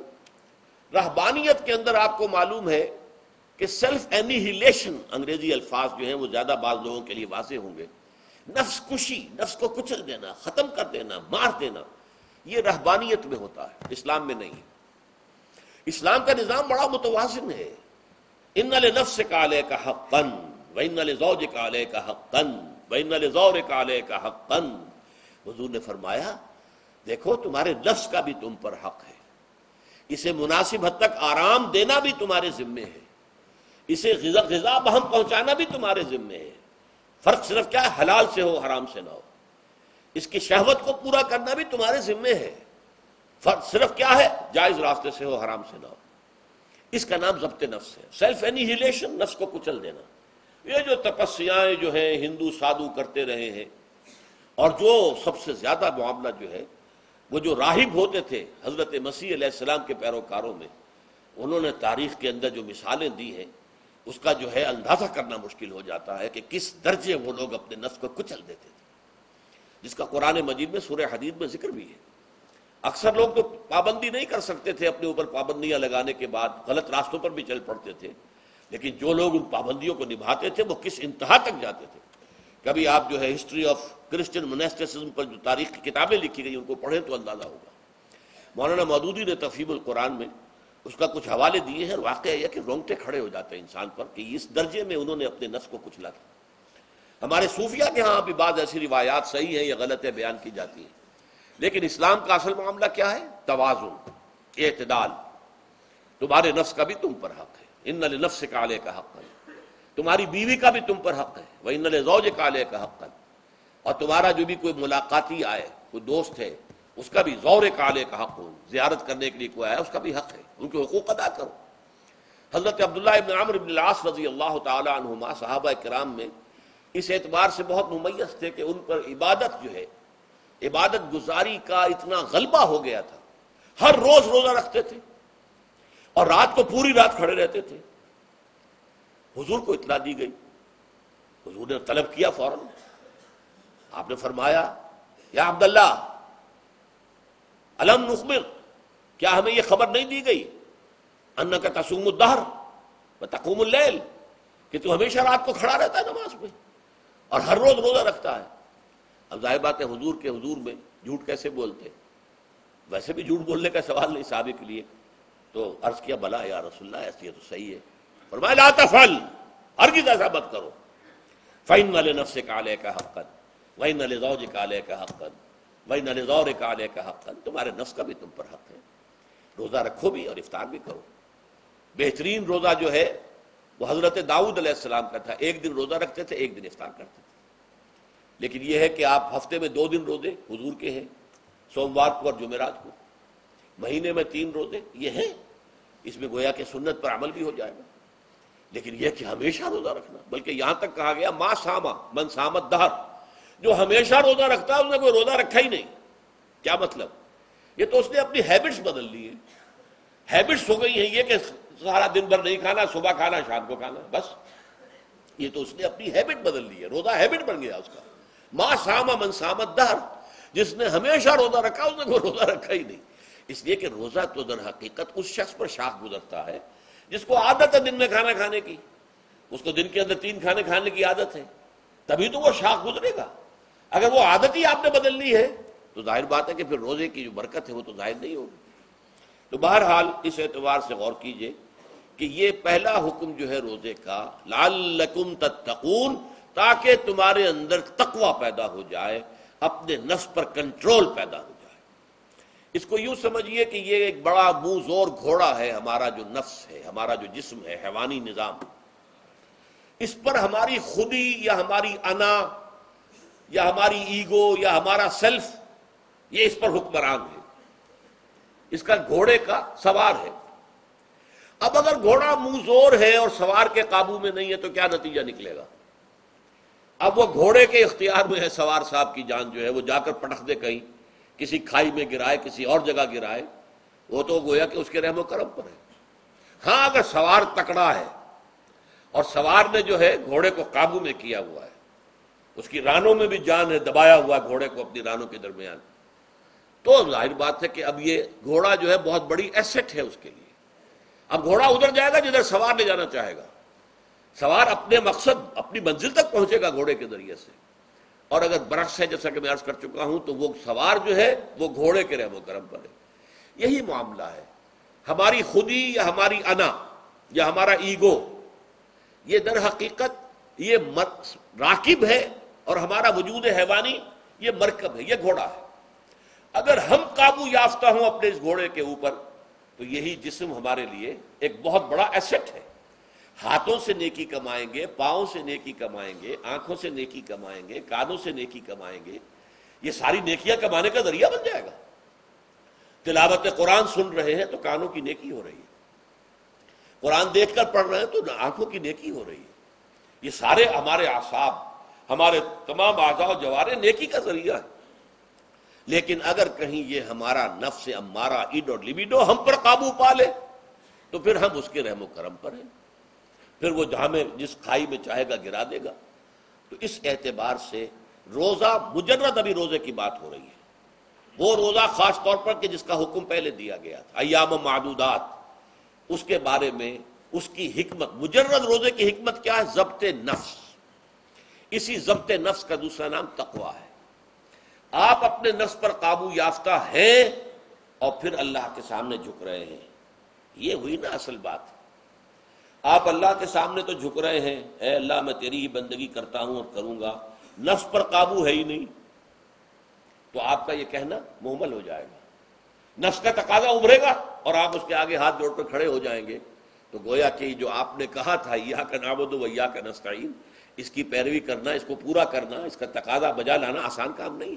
जो भी गोयम मुसलमानम बिलरजम, के दानम मुश्किल ला इला रहा जब मैं कहता हूँ कि मैं मुसलमान हूँ तो मैं मुझ पर कब कब तारी होती इसलिए कि मुझे मालूम है कि ला इलाह कहने का मकसद क्या है मतलब क्या है, उसके तकाजे क्या है।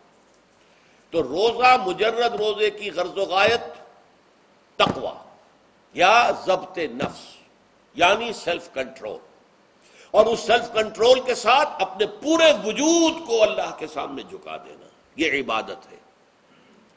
अब आइए इस इबादत के लिए, रोज़े के लिए रमज़ान का महीना क्यों मुंतखब किया गया? बिल आखिर। पहले तो वो हर महीने के तीन दिन थे। बिल आखिर मुस्तकिल ता क्याम, क्यामत और रमज़ान का महीना है। उसकी इल्लत क्या है? ज़ाहिर बात है कि सारे बारह महीने अल्लाह ही के हैं। हफ़्ते के सारे दिन अल्लाह ही के हैं। दिनों में सैयदुल अयाम जुमे का दिन है। महीनों में सैयदुल शोह अशुर, ये जितने महीने हैं उनमें सरदार जो है महीनों का, वो रमज़ान मुबारक है। क्यों है? अब आप पढ़िए तीसरी आयत। शहर रमदान कुरान रमज़ान का महीना वो है जिसमें कुरान नाजिल किया गया। और इसकी मजीद क्या है तशरी कि रमज़ान ही में वो ललतुल कद्र है जिसमें कुरान नाजिल किया गया। अब यहाँ दो चीज़ें अलहदा अलहदा समझ लीजिए। हमें मालूम है कि कुरान हुजूर पर नाजिल हुआ बत्तीस बरस में, नहीं, बाईस बरस में। 610 ईस्वी से लेकर इस मौजू पर आज शाम को तकरीर होगी इंशाला मुफसल तारुफ कुरान के ज़िमन में, बाद नमाज़ ईशा कुरान अकेडमी की मस्जिद में। क्योंकि मालूम नहीं कि आज चाँद हो जाएगा या नहीं हो जाएगा। लिहाजा दौर तर्जुमा कुरान कल से शुरू होगा और आज जो है, तारुफ कुरान और सूर्य फातिहा का कुछ मफहूम मैं बयान करूँगा, ताकि ये कि रमज़ान मुबारक के लिए तमहीद हो जाए। फिर अगर चाँद हो गया तो छोटी छोटी सूरतों के साथ हम तरावी मुकम्मल कर लेंगे। तर्जुमा कुरान के साथ तरावी कल से शुरू होगा। बहरहाल इस जिमन में रमज़ान का चुनाव जो हुआ है तो ये तरजीह बिला मुरजह नहीं है। ऐसे ही नहीं है कि खुयू ही उसको तरजीह दे दी गई। इसकी हिकमत है, गायत है, इल्लत है, इसका सबब है। रमज़ान का महीना वो है जिसमें कुरान नाजिल किया गया। इसी में वो लैलतुल कद्र है जिसमें कुरान नाजिल किया गया। अगरचे हम जानते हैं कि हुजूर पर कुरान नाजिल हुआ है बाईस बरस में। छह सौ दस ईस्वी से छह सौ बत्तीस तक। इस मुहिम को कैसे हल करेंगे? उसका हल क्या है? रमज़ान मुबारक की एक शब मुबारक ललतुल कद्र में पूरा कुरान लोहे महफूज से दफातन पूरा का पूरा। समाए दुनिया, पहला आसमान जो है हमारा, उसके ऊपर नाजिल कर दिया गया। इसके लिए लफ्ज उन जिला अनजला युनजलो इंजालन के मानी है दफातन किसी चीज़ को उतार देना। और नजला युनजलो तंजील के मानी है रफ्ता रफ्ता दर्जा दर्जा दर्जा दर्जा दर्जा उतार एलाम आलमा एलामन किसी शय को खबरदार कर देना, बता देना, बस। हमने बता दिया, तुम जानो तुम्हारा काम।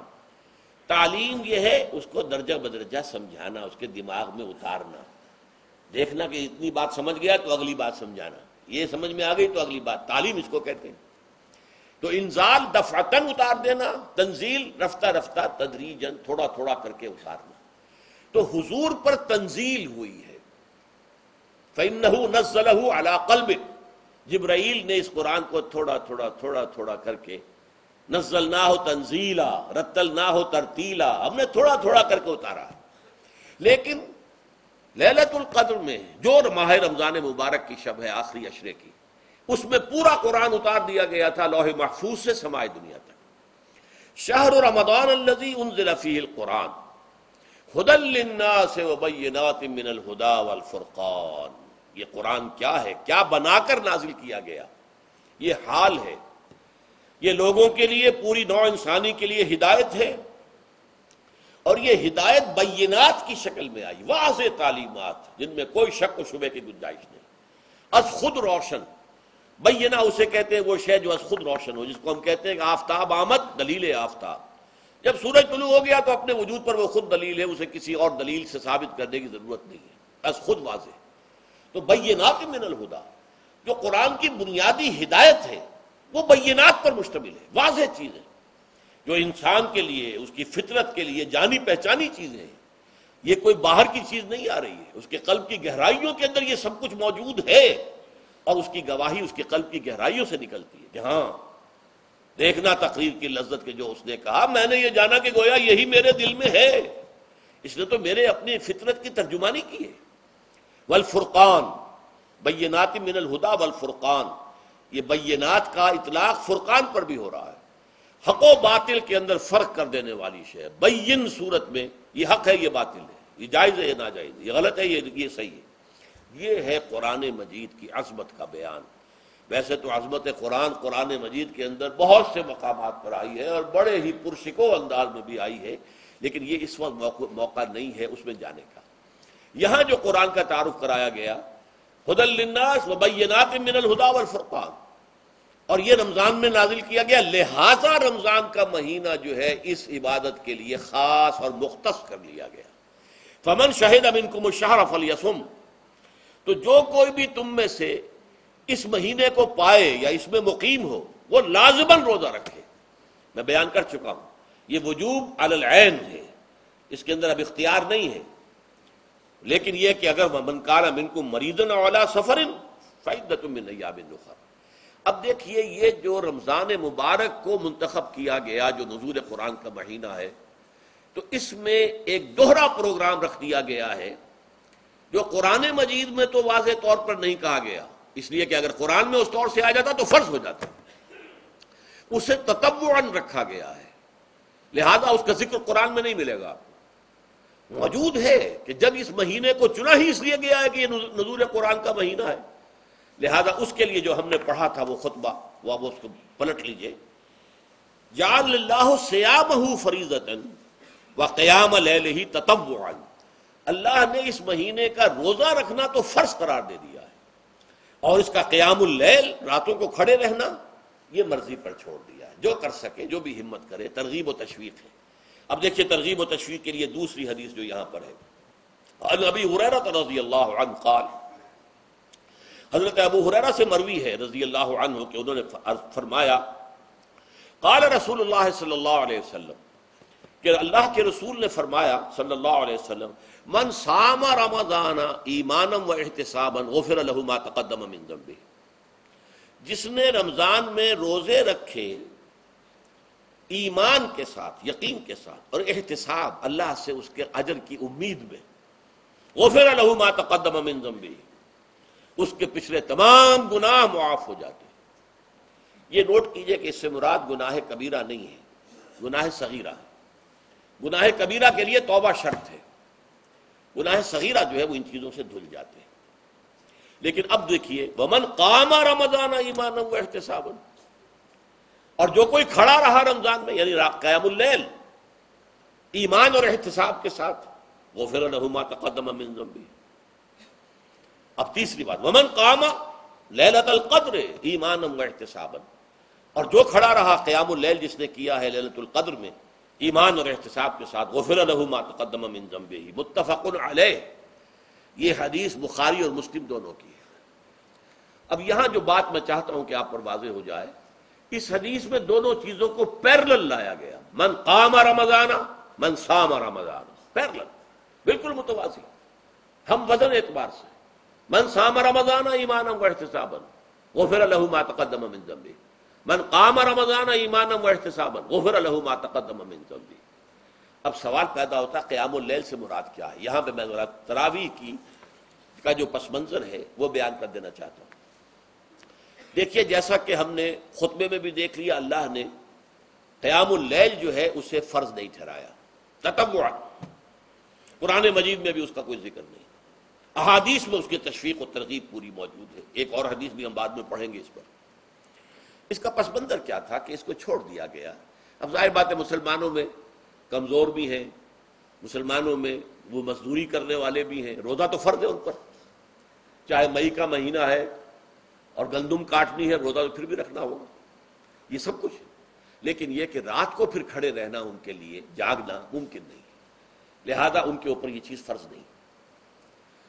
हुजूर ने तरावी की नमाज़ या क़यामुल न उसे फ़र्ज़ करार दिया न उसके बाद जमात कोई एहतमाम किया मुस्तकिल।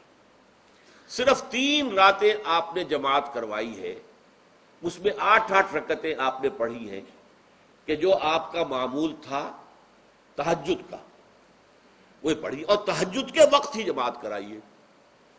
यह है वो हदीस, इसके अलावा किसी नमाज़ तरावी जो है, जो हम पढ़ते हैं बीस रकतें, इशा के साथ मुतसिल इसका कोई ज़िक्र न दौर नबवी में है, न दौर सिद्दीक अकबर में है। ये दौर हज़रत उमर की खिलाफत में हुआ है। और हम नहीं कह सकते कितने साल के बाद हुआ है। हज़रत उमर रज़ी अल्लाह तु की खिलाफत का दौर जो है, वो तो दस बरस है। हो सकता है पाँच बरस के बाद हुआ हो, छह बरस के बाद हुआ हो, बारह हुआ है उनके अहद में। हज़रत उमर एक मरतबा मस्जिद में दाखिल हुए, मस्जिद नबी में तो देखा कि कुछ लोग आठ, दस, बारह जो है, वो एक, जो है, हाफिज के पीछे खड़े हुए और कुरान सुन रहे। कुछ दूसरे कोने में खड़े हैं, कुछ कहीं और खड़े हैं। मुख्तलिफ़ जमातें हो रही हैं। तो उन्होंने सोचा कि क्यों ना इन सबको एक इमाम के पीछे जमा कर दिया जाए। और इसके लिए, लोगों की सहूलत के लिए, ईशा के साथ मुतसिल रख दिया जाए। इसलिए कि तहजद के वक्त उठना जो है, वो तो हर कसो नाकस का काम नहीं है। कि ईशा के बाद अगर थोड़ा सा इजाफी वक्त हो सिर्फ़ तो ये हर शख्स कर लेगा, मजदूर भी कर लेगा। लिहाजा आपने ये निज़ाम तजवीज़ फरमाया कि ईशा के मुतसिल बाद बीस रकत नमाज़ पढ़ी जाए और एक इमाम के पीछे पढ़ी जाए। ये गोया कि इजतहाद है हज़रत उमर रज़ी अल्लाह तु इसको आपने खुद बिदअत भी करार दिया है, लेकिन बिदअत हसना बिदत किस एतबार से? लघवी एतबार से। नई बात। इसलिए कि हजूर के ज़माने में नहीं थी। तो ये इस तरीके से एक नई बात है। लेकिन ये बात, चूँकि बहुत अच्छी है, बहुत उमदा है। आप जब ये नमदाम चल पड़ा तो एक दिन मस्जिद में आए, देखा कि बड़ी भरी मस्जिद है। साहबा खड़े हैं और एक इमाम के पीछे कुरान सुन रहे हैं। आपने फरमाया, नेमल बिदा तो हाजी ये जो हमने नई बात शुरू की है, ये बहुत अच्छी है, बहुत उमदा है। अब यहाँ से फ़र्क वाक़ हो गया है। एक तो अहले तशैय जो है, वो तो वैसे ही हज़रत उमर से बहुत दुश्मनी रखते इनाद रखते तो हज़रत उमर के इश्तहादात से उन्हें नफरत है, उन्हें दूरी है। चाहे वो कोई सा भी हज़रत उमर का इश्तहाद हो। हमारे यहाँ अहले हदीस हजरात भी दर हकीकत, हज़रत उमर या किसी और खलीफा राशिद के फेल को वो समझते हैं कि ये एग्जेक्टिव ऑर्डर्स हैं, ये हमेशा के लिए नहीं है। हज़रत उमर ने अपने दौर में एक निज़ाम कायम किया, उनके दौर के लिए ठीक था, ये हमेशा के लिए नहीं। हमेशा के लिए वो आठ ही रकतों के कायल हैं, वो तहजद वाले। लेकिन उसमें बहरहाल उन्होंने भी खुद ये इजाफा किया है। कि वो आठ रकतें वो ईशा के साथ मुतसिल पढ़ते हैं तहजद के वक्त तो नहीं पढ़ते। और हुजूर ने तो सिर्फ़ तीन रोज जो है वो वो कराई थी जमात, वो लोग तीस दिन या उनतीस दिन पढ़ रहे हैं तो इजाफा तो उन्होंने भी कर दिया। उस निज़ाम में तब्दीली तो हो गई। लेकिन अहले सुन्नत जो कहलाते हैं, हमारे जो चार जो हैं, जो हमारे मसलक हैं, हनफी, मालिकी, शाफी, हम्बली, इनका इत्तेफाक है इस पर, हज़रत उमर का क्योंकि उनके सामने उसूल ये है कि हजूर ने फरमाया, अलैकुम व सुन्नतिल खुलफाइन राशिदीन महदीन तुम पर लाजिम है कि मेरी सुन्नत को पकड़ो मजबूती के साथ। और मेरे खुलफाए राशिदीन महदीन जो है, उनकी सुन्नत को पकड़ो। इस उसूल से ये चारों फ़िक्र जो हैं, हज़रत उमर के इश्तहादात जो हैं, उनको भी पाबंदी समझते हैं कि तमाम उम्र के लिए, क़यामत तक के लिए उम्मत मुस्लिमा पर उनकी पैरवी लाजिम है। लिहाजा इसमें इजमा है। और यहाँ तक कि ये सबसे आखिरी जो इसमें मसलक पैदा हुआ है, जमानी एतबार से सबसे पहले मसलक जो है हनफी पैदा हुआ है, फिर मालिक पैदा हुआ है, फिर शाफी पैदा हुआ है, और फिर हम्बली आखिरी है।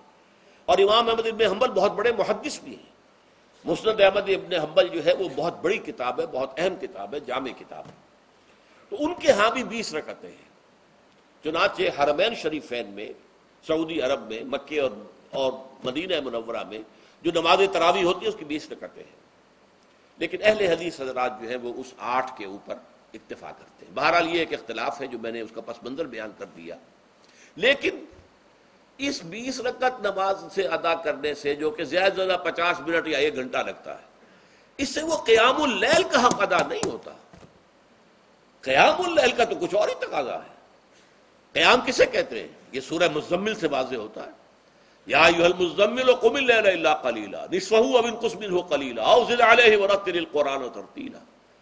आधी रात या आधी रात से कुछ कम यानी तिहाई रात या आधी रात से कुछ जायद दो तिहाई रात यह है क्यामुल चुनाचे सूर्य मुजम्मिल ही की आखिरी आयत जो दूसरा रुकू मुश्तमिल है जिस पर उसमें साफ़ कह दिया गया इन रब्बा का यालम अन्न का तकूम अदना मिन सुलस वनिसफहु व सुलस व तायफतु मिन लजीन माक अल्लाह के नबी अल्लाह खूब वाकिफ है कि आप भी और आपके साथ एक जमात भी रात को खड़ी रहती है।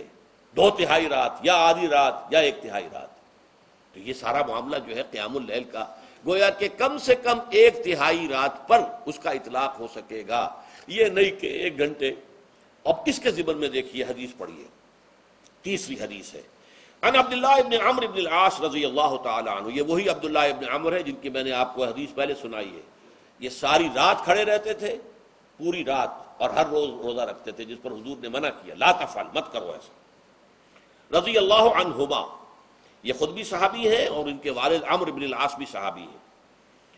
अन्ना रसूल अल्लाह सल्लल्लाहु अल्लाह के रसूल सल्लल्लाहु ने फरमाया असयामो वल कुरान यशफ़ान रोज़ा और कुरान बंदे के हक में शफात करेंगे।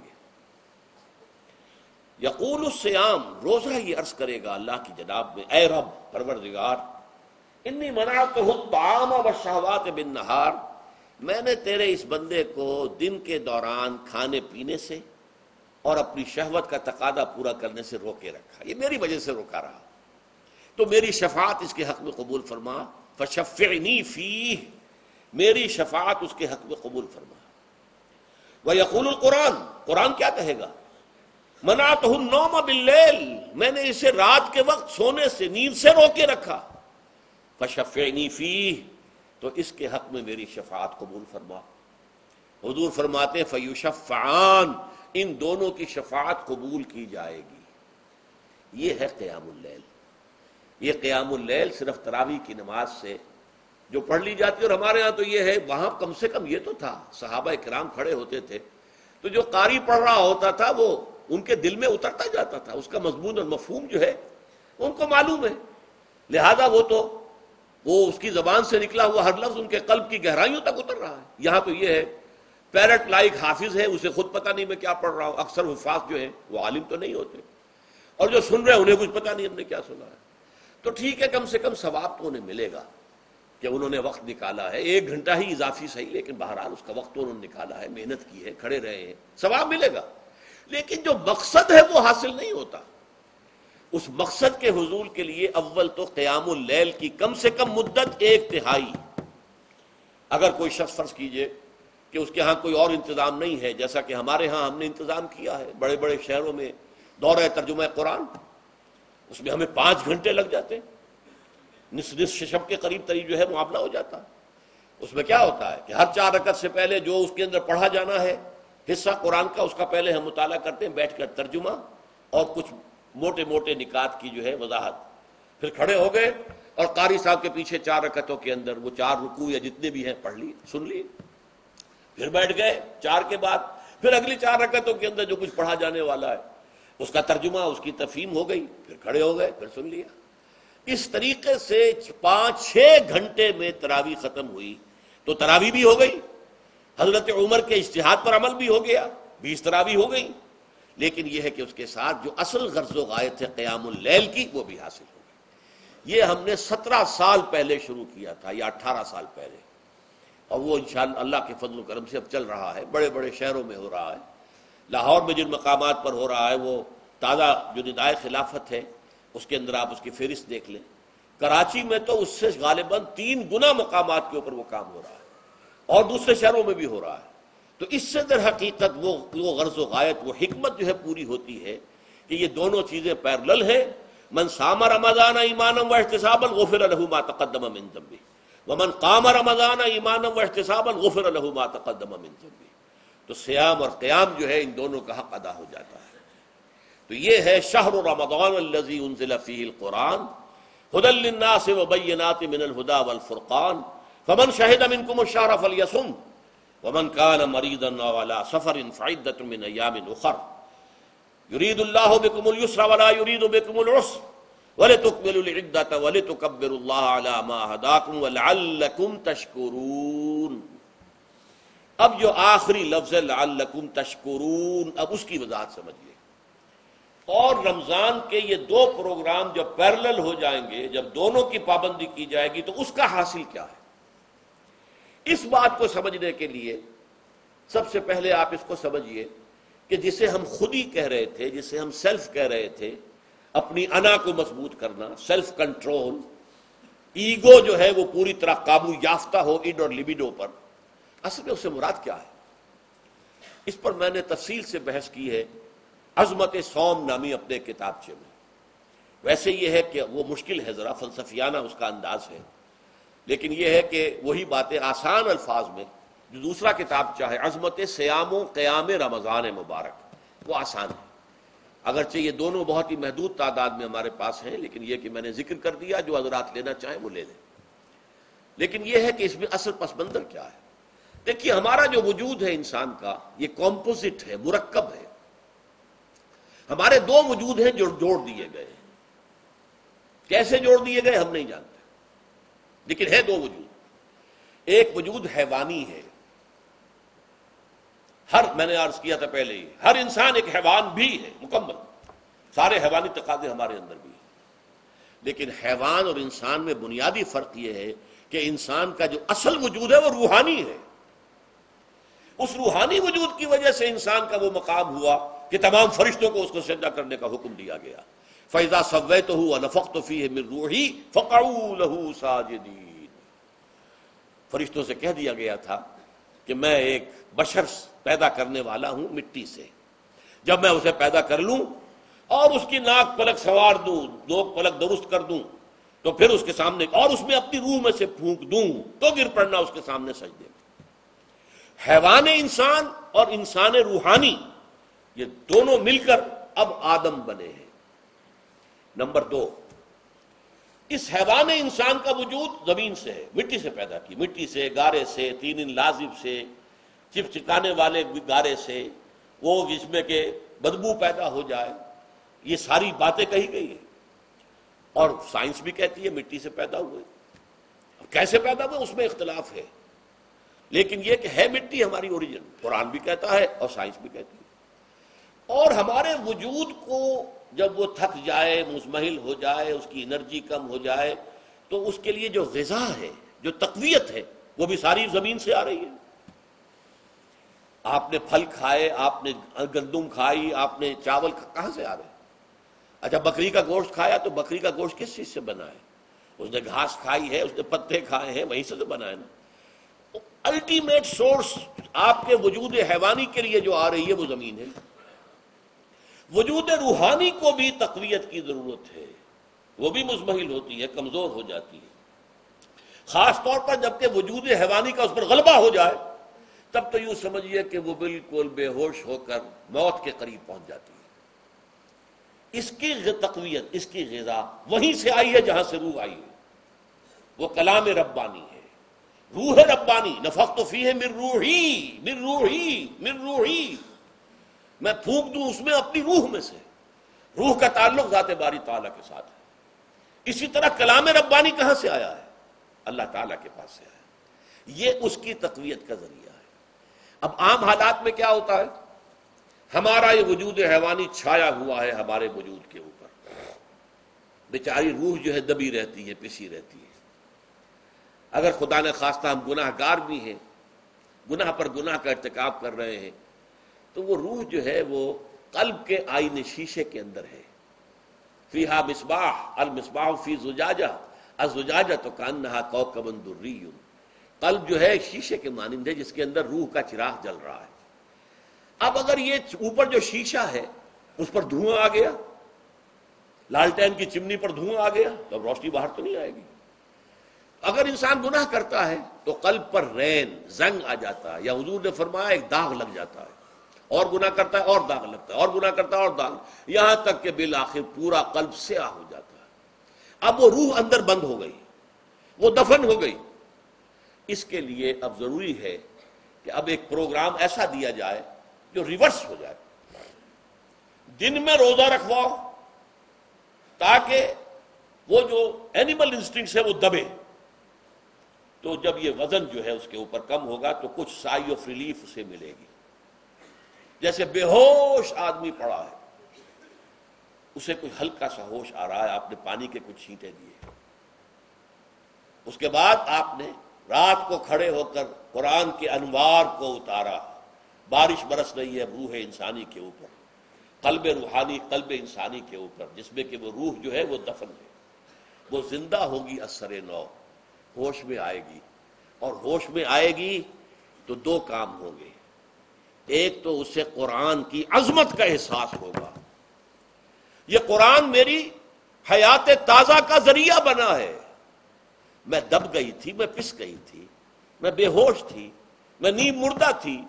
इस कुरान की बारिश ने यह तरशो जो हुआ है मुझ पर, इसने मुझे हयात ताज़ा आता फरमाई। ये जो कदर का एहसास होगा कुरान का लाल लकुम तस्करून ताकि तुम कुरान की अजमत से वाकिफ हो एक इंसान भूख की वजह से। उसका शुगर लेवल इतना गिर गया कि बेहोश पड़ा हुआ। अब ज़ाहिर बात है कि आप उसे कुछ पानी के छींटे देंगे तो कुछ होश में आएगा, फिर गजा देंगे तो अब वो पूरी तोानाई पर आएगा। तो मालूम होगा उससे इस गजा की क्या कदर कीमत है। अगर आपको भूख ही नहीं लगती तो गजा बेमानिश है। प्यास ही ना लगे तो आपको क्या मालूम कि इस पानी के अंदर कितनी बड़ी अजमत है। ये मेरे लिए कितना बड़ा इनाम और एहसान है अल्लाह का। वो तो प्यास पर, जान पर बनी हुई हो। और प्यास उस वक्त आपको एक घूट पानी कोई दे दे तो आपको मालूम होगा, दुनिया और माफिया से बढ़कर है ये एक घूट पानी जो मुझे मिला है। इसी तरह जब रूह दबी हुई थी, हैवानी वजूद के बोझ तले, जबकि वो नीम खाबीदा या नीम बेहोश या बिल्कुल बेहोश थी, वो दिन में तो रोजा रखकर उस पर से हैवानी वजूद का वज़न कम किया गया। उसे एक रिलीफ मिली। रात को कुरान मजीद के अनवार बरकत उसमें जज्ब किए गए। तो उसको पूरी तोानाई हासिल हुई। उस पूरी तोानाई का पहला नतीजा तशक्र कुरान का शुक्र। अल्हम्दुलिल्लाहिल्लज़ी अनज़ला अला अब्दिही। अब्दिहिल किताब वलम यजअल एवजा फिर वह कब की गहराइयों से निकलेगा। सारा शुक्र उस अल्लाह के लिए जिसने अपने बंदे पर सल्लल्लाहु किताब नाजिल की। और उसमें कोई कजी नहीं रखी। किसी तरह की एश पेश नहीं। या तबारक नज़र फुरकान अला अब्दही। नसीरा बड़ी बाबरकत है वो ज़ात जिसने अपने बंदे पर फुरकान नाजिल फरमाया ताकि वो तमाम जहान वालों के लिए नजीर और खबरदार करने वाला बन जाए ये कुरान की अजमत का एहसास और ज़ाहिर बात है जिस कदर किसी नेमत की कदर कीमत का एहसास होगा उसी कदर तो आप शुक्र अदा करेंगे अगर आपने किसी बच्चे के हाथ पर हीरा रख दिया उसे क्या पता ये हीरा किस बला का नाम होता है वो समझेगा कांच का टुकड़ा है लेकिन अगर कोई वाकता को जौहर शनास हो, जौहरी हो, उसको आप हीरा देंगे तो उसे मालूम है कि मुझे क्या चीज़ दी गई है। उसके अंदर जो शुक्र पैदा होगा, वो उस बच्चे के अंदर तो नहीं पैदा हो सकता, जिसे मालूम ही नहीं। तो कुरान मजीद की असल अजमत से इंसान वाकिफ कब होगा, जबकि उसके ज़रिए से उसकी रूह को एक हयात ताज़ा मिल जाए। और इस तरह वो प्रोग्राम रिवर्स हो जाए, जो आमतौर पर चल रहा था। सारी तवज्जो अपने जिस्म पर, उसके तकाजों पर। जिसम में थोड़ी सी फुंसी निकल आई है भाग रहे दौड़ रहे उसके इलाज के लिए। कोई और मरज लाक हो गया भाग रहे दौड़ रहे उसके इलाज के लिए बड़ी बड़ी फीसें भी दे रहे हैं। सारी जिस्म की परवाह है ना। रोज़ाना नहा रहे हैं और अच्छे से अच्छा साबन ला, ला कर नहा रहे हैं। वो जिसम की परवाह है ना उसकी देखभाल है। रूह की तरफ़ तवज्जो ही नहीं। ये है वो बात जो कही गई है सूरह हशर में जिसे अलामा इकबाल ने फिर अपने फलसफा खुदी की असास और सोर्स करार दिया है। वला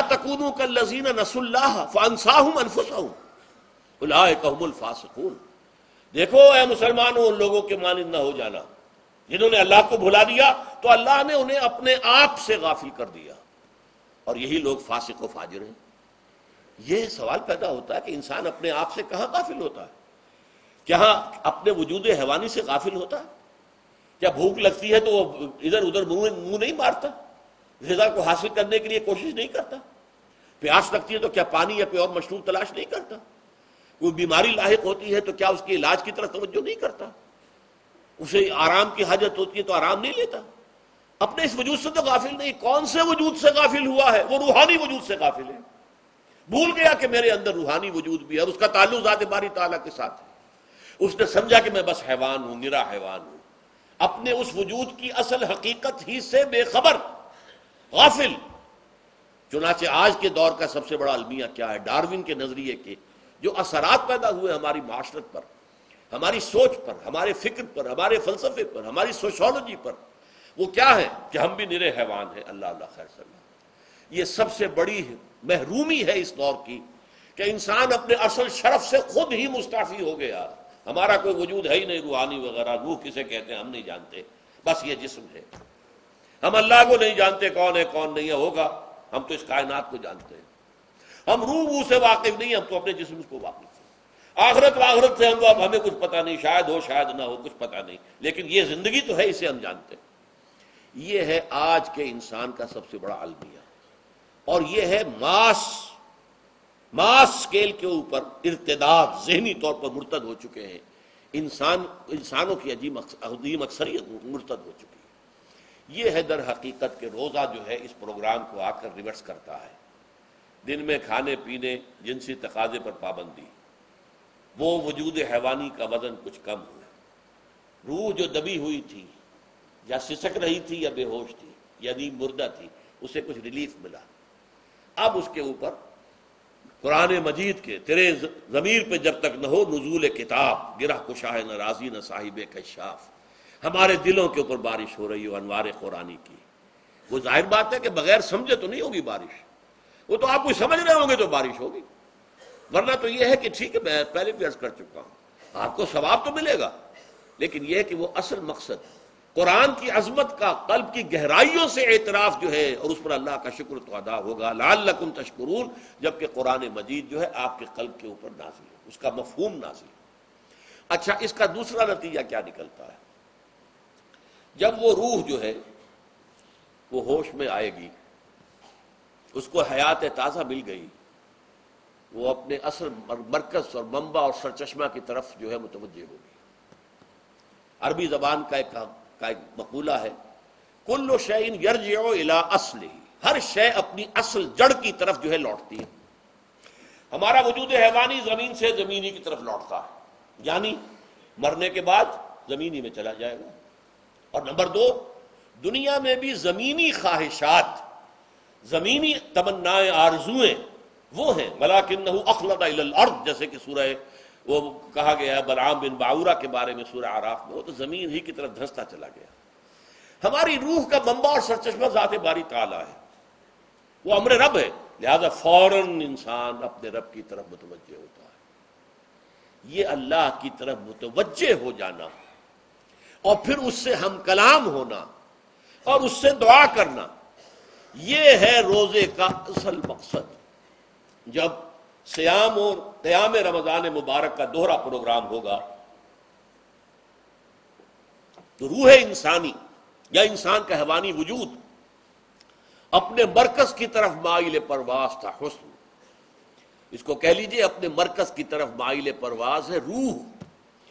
हर शय अपने असल की तरफ़ लौटती। है लिहाजा ये अल्लाह की तरफ़ मुतवजह होगी। ये अल्लाह ताला की तरफ़ मुतवजह होने का मामला दुनिया में रहा है कि लोग कहीं जंगलों में जाकर तपस्याएँ करके, गारों में बैठ के बड़ी बड़ी रियाजतें करके क्या चाहते थे? मुझको है तेरी जुस्तजू, मुझको तेरी तलाश है। खालिद, मेरे कहाँ है तू? मुझको तेरी तलाश है।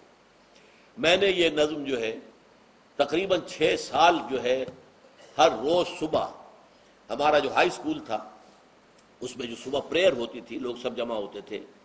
पूरा स्कूल जो है उसके हमारे तलबा तो ये नज़म जो है पढ़ी जाती थी। मुझको है तेरी जस्तजू, मुझको तेरी तलाश है। खालिद, मेरे कहा है तू? मुझको तेरी तलाश है।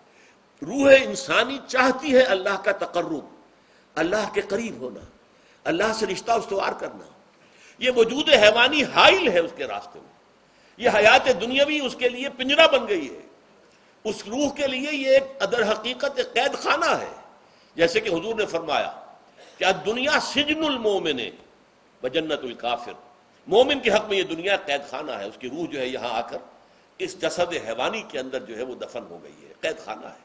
इस पिंजरे में बंद हो गई तो लेकिन वो काफिर के लिए यही बारो बहार है, यहीं पर ऐश करने हैं, यहीं पर बदे लूटने हैं। तो इससे दर हकीकत रिलीफ मिलता है तो इंसान मुतवजह होता है अल्लाह की तरफ़ और दुआ करता है अल्लाह से हम कलाम होता है। यह है दर हकीकत रोज़े और रमज़ान का जो दूसरा नतीजा निकलता है और बुलंद तरीन नतीजा है। इसका ज़िक्र है आयत नंबर चार में। और ये कि बहुत से लोग ऐसे हैं जो कुरान मजीद में नज़म के बहुत कायल हैं, लेकिन मैं हैरान हूँ कि इस नज़म के अंदर इसके रब्त और रिश्ते को वह तलाश करने से कासिर रहे। वज़ा साल का इबादी अन्नी फ़ैनी करीब। जब रूह बेदार हो जाएगी, उसे हयात ताज़ा मिलेगी तो है नबी, मेरे बंदे जब आपसे पूछे मेरे बारे में, वो मेरा तकर्रुब चाहते हैं, मेरा कुर्ब चाहते हैं। वो चाहते हैं मुझसे हम कलाम होना। वो चाहते हैं कि मुझे उनके साथ, उनको मेरे साथ एक निस्बत मिल जाए। वैजा साल का इबादी अन्नी फैनी करीब। उन्हें बता दीजिए, मैं करीब ही। हूँ मैं दूर नहीं हूँ। और आया है सूर्य काफ में, नहन अकरब बिन हबलिल वरीद। जो शहरग है, इंसान की, उससे भी ज़्यादा करीब हूँ मैं उससे। नोट कीजिए, कैसे? उसकी रूह का ताल्लुक मेरी रात के साथ है बराह रास्त। इसकी मिसाल भी मैं दे चुका हूँ, कई अपने किताबों के अंदर। अजमत सोम नामी किताब जब पढ़ेंगे, जो हजरात भी समझ सके पूरी तरह उसको। उसके अंदर ये बात बयान हुई। और इसीलिए देखिए हदीस आखिरी पढ़ लीजिए कि हुजूर ने करार दिया है कि रोजा जो है तमाम इबादात के अंदर एक बिल्कुल मुनफरद शान का हामिल है। वहाँ नबी हुररा रज़ी अल्लाह और ये मुतफ़न रिवायत है, बुखारी और मुस्लिम दोनों की। काल रसूल अल्लाह जल, इसे हदीस कुदसी कहते हैं। हुजूर ने फरमाया कि अल्लाह फरमाता है तो ये हदीस भी हो गई कि हुजूर ने हमें बताई और हदीस कुदसी हो गई कि अल्लाह का कौल है जो हुजूर नकल कर रहे हैं। कुरान मजीद वही ये जली है, ये वही ये खफी है, लेकिन ये आम हदीसों के मुकाबले में इसका मरतबा और मकाम बहुत बुलंद है कि हुजूर फरमा रहे कि अल्लाह फरमाता है। यकूल कुल्लो अमल इबन आदम लहू। इबन आदम का हर अमल, हर नेकी उसके अपने लिए, अपने फ़ायदे के लिए। इल्लसौम सिवाय रोज़े के। फ़नहू ली व अना अजजी भी या उजजा भी ये मेरे लिए है और मैं खुद ही उसकी बदला दूँगा, या मैं खुद ही उसका बदला हूँ। ये दोनों तर्जुमे अजमत सोम में मैंने तफसील से बहस की है कि वैसे तो नमाज़ भी अल्लाह के लिए अकमी सलात जिक्री हज किस लिए है?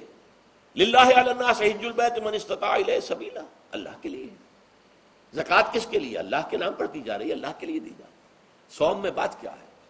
सौम में असल चीज़ मलहूज क्या है? रूह इंसानी को ताज़ा करना, ज़िंदा करना, उसकी हयात ताज़ा का बंदोबस्त करना। और रूह का ताल्लुक ज़ात बारी ताला के साथ है। इस ताल्लुक की मिसाल यूँ समझिए, जैसे हमें मालूम है सूरज का फासला हमसे कितना है। करोड़ हा करोड़ हा करोड़ हा करोड़ हा मील। लेकिन सूरज की किरण जो वहाँ से चलकर यहाँ तक पहुँची है क्या उसका ताल्लुक सूरज से मुनकते है? सूरज के साथ तो ताल्लुक कायम इसी तरह रूह इंसानी, जात बारी ताला से बहुत दूर आकर कह लीजिए, हमारे वजूद के अंदर आ गई, हमारे कल्ब के अंदर मुतमक्न हो गई। लेकिन क्या उसका ताल्लुक अल्लाह की ज़ात से मुनकते है? नहीं। लेकिन ये रूह ही अगर मुजमिल हो गई तो ताल्लुक मुनकते हो जाएगा। इसलिए कि इस रूह के अंदर जान नहीं रही। ये रूह ताज़ा होगी तो इसका ताल्लुक अल्लाह की ज़ात के साथ असर नौसवार हो जाएगा। इसलिए ये कहा, ये मेरे लिए। ये मेरे लिए। वाना अजी बही या उजदा बही। मैं खुद ही उसका बदला दूँगा या खुद ही उसकी जजा हूँ? खुद ही उसकी जजा हूँ? अल्लाह के उस बंदे का ताल्लुक मेरे साथ ऐसा कायम हो जाएगा कि गोया कि उसे मैं मिल गया।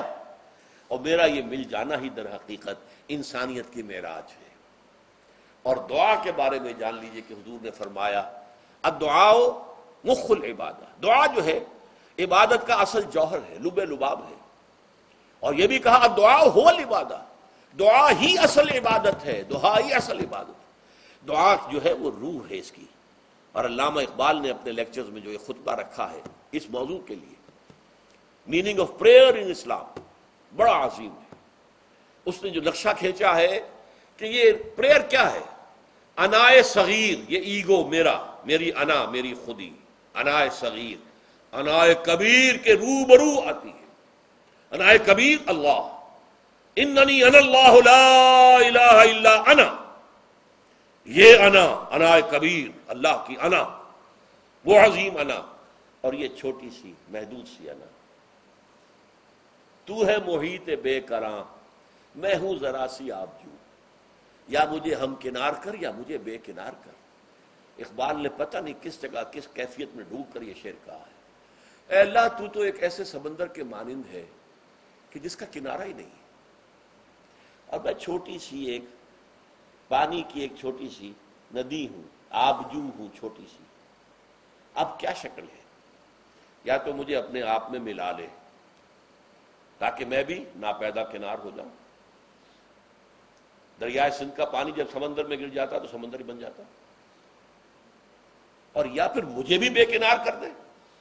मेरी वस्तु मेरी वजूद को भी इतना, इतनी वसत दे दे कि कोई किनारा ना रहे। अब ये क्या उसने समझा, क्या कहा? लेकिन मैंने वही अनाय कबीर, अनाय सगीर। एक है नमाज़ हम पढ़ लेते हैं। आपने सारा पढ़ लिया, सारा तादील अरकान भी कर ली। लेकिन अगर आपका अल्लाह के साथ डायरेक्ट कम्युनियन और डायरेक्ट कम्युनिकेशन कायम नहीं हुआ। तो नमाज़ जिसको कि कहा गया कि असला तो मेराजुल जो कुर्ब हजूर को हासिल हुआ मेराज में, वो एक बंदा मोमिन दुनिया में रहते हुए हासिल कर सकता है नमाज़ में। अगर उसकी रूह जो है वाक़ हम का नाम हो रही हो अर्रहमान रहीम, मालिक यौमिद्दीन इहदिन सिरात का नाम अगर हम वाक़ता ऐसे कह रहे हो कि हमें एहसास हो कि हम अल्लाह के हजूर में हाजिर हैं और अर्ज़ कर रहे हैं। सजदा करें तो हदीस में आता है कि ऐसे महसूस हो कि गोया कि मैंने अपना सर अल्लाह के कदमों में रख दिया है। ये है नमाज़। अब जो गुफ्तु हो रही है, ये हम कलामी है। असलात मेराजुलमोमिन अहले ईमान के हक में। ये नमाज़ जो है, ये मेराज के दर्जे में। लेकिन इस, ये नमाज़ कैसे नसीब होगी? अगर रूह सोई हुई है, दबी हुई है, पिसी हुई है, मुजमहिल है या मुर्दा है, ये नमाज़ कैसे हासिल होगी? चाहे आप पाँचों वक्त की नमाज़ पढ़ रहे हो, चाहे आपने आप हैबिट बना लिया हो नमाज़ को, चाहे खुश भी हो गया हो लेकिन यह कि जब तक वो रूह बेदार न हो, जब तक हम कलामी ना हो अफलाक से आता है, नालों का जवाब आखिर, उठते हैं हिजाब आखिर, करते हैं खिताब आखिर, जब तक ये ना हो। जैसे कि मैं एक हदीस कुदसी इंशाला आज सुनाऊँगा, सूरह फातिहा के ज़िमन में, कि अल्लाह ताला के सामने जब खड़ा होकर इंसान जब कहता, इन्नी वजह तो वजह फतर हनीफा। दाएँ बाएँ से बिल्कुल अपना ताल्लुक काट कर मैंने अपना रुख कर लिया है उस अल्लाह की तरफ़, जिसने आसमानों और ज़मीन को पैदा किया। अब ये तवज्जो तवज्जो वजह तो अगर ये तो है, चेहरा तो हमने कर दिया, खाना काबा की तरफ़। अंदर से हमारी रूह मुतवजह नहीं हुई, वो सोई पड़ी उसे पता ही कुछ नहीं कि क्या हो रहा है। तो उस सूरत में वो क्या है? जाहिरी बात तो पूरी हो गई, नमाज़ का सवाब हो जाएगा, फ़र्ज़ की अदायगी का सवाब मिल जाएगा। लेकिन वो असल नमाज़ तो हासिल नहीं होती। ये है वो बात कि वाइजा साल का इबादी अन्नी फ़ैनी करीब ए नबी, जब मेरे बंदों की रूहें बेदार हो जाएँ, तवाना हो जाएँ, हयात ताज़ा से वो हम करा, हम किनार हो जाएँ, और फिर वो मेरे बारे में पूछे वो मेरा तकर्रब हासिल करना चाहते हैं। तो आपसे पूछे तो कहिए, मैं करीब ही। उजीब दावत दान ये है वो दुआ। मैं हर पुकारने वाले की पुकार, हर दुआ करने वाले की दुआ को सुनता हूँ, कबूल करता हूँ जवाब देता हूँ, जहाँ कहीं भी मुझे पुकारे। इजादान। इसमें दर हकीकत वो मफहूम आ गया है। There and then wherever आप अपने घर में होकर पुकारे अल्लाह को। आप बिस्तर पर लेटे हुए पुकारे अल्लाह को। लजीना यस्करून हाँ ठीक है। बाज़ मकाम बाज़ कबूल दुआ के लिए ज़्यादा साजगार है। हरम में जाकर दुआ मांगी जाए। और मिना में, अरफात में ख़ास तौर पर, जबल रहमत पर ख़ास तौर पर, मुलतजिम जो है, काबे का उस पर ख़ास तौर पर।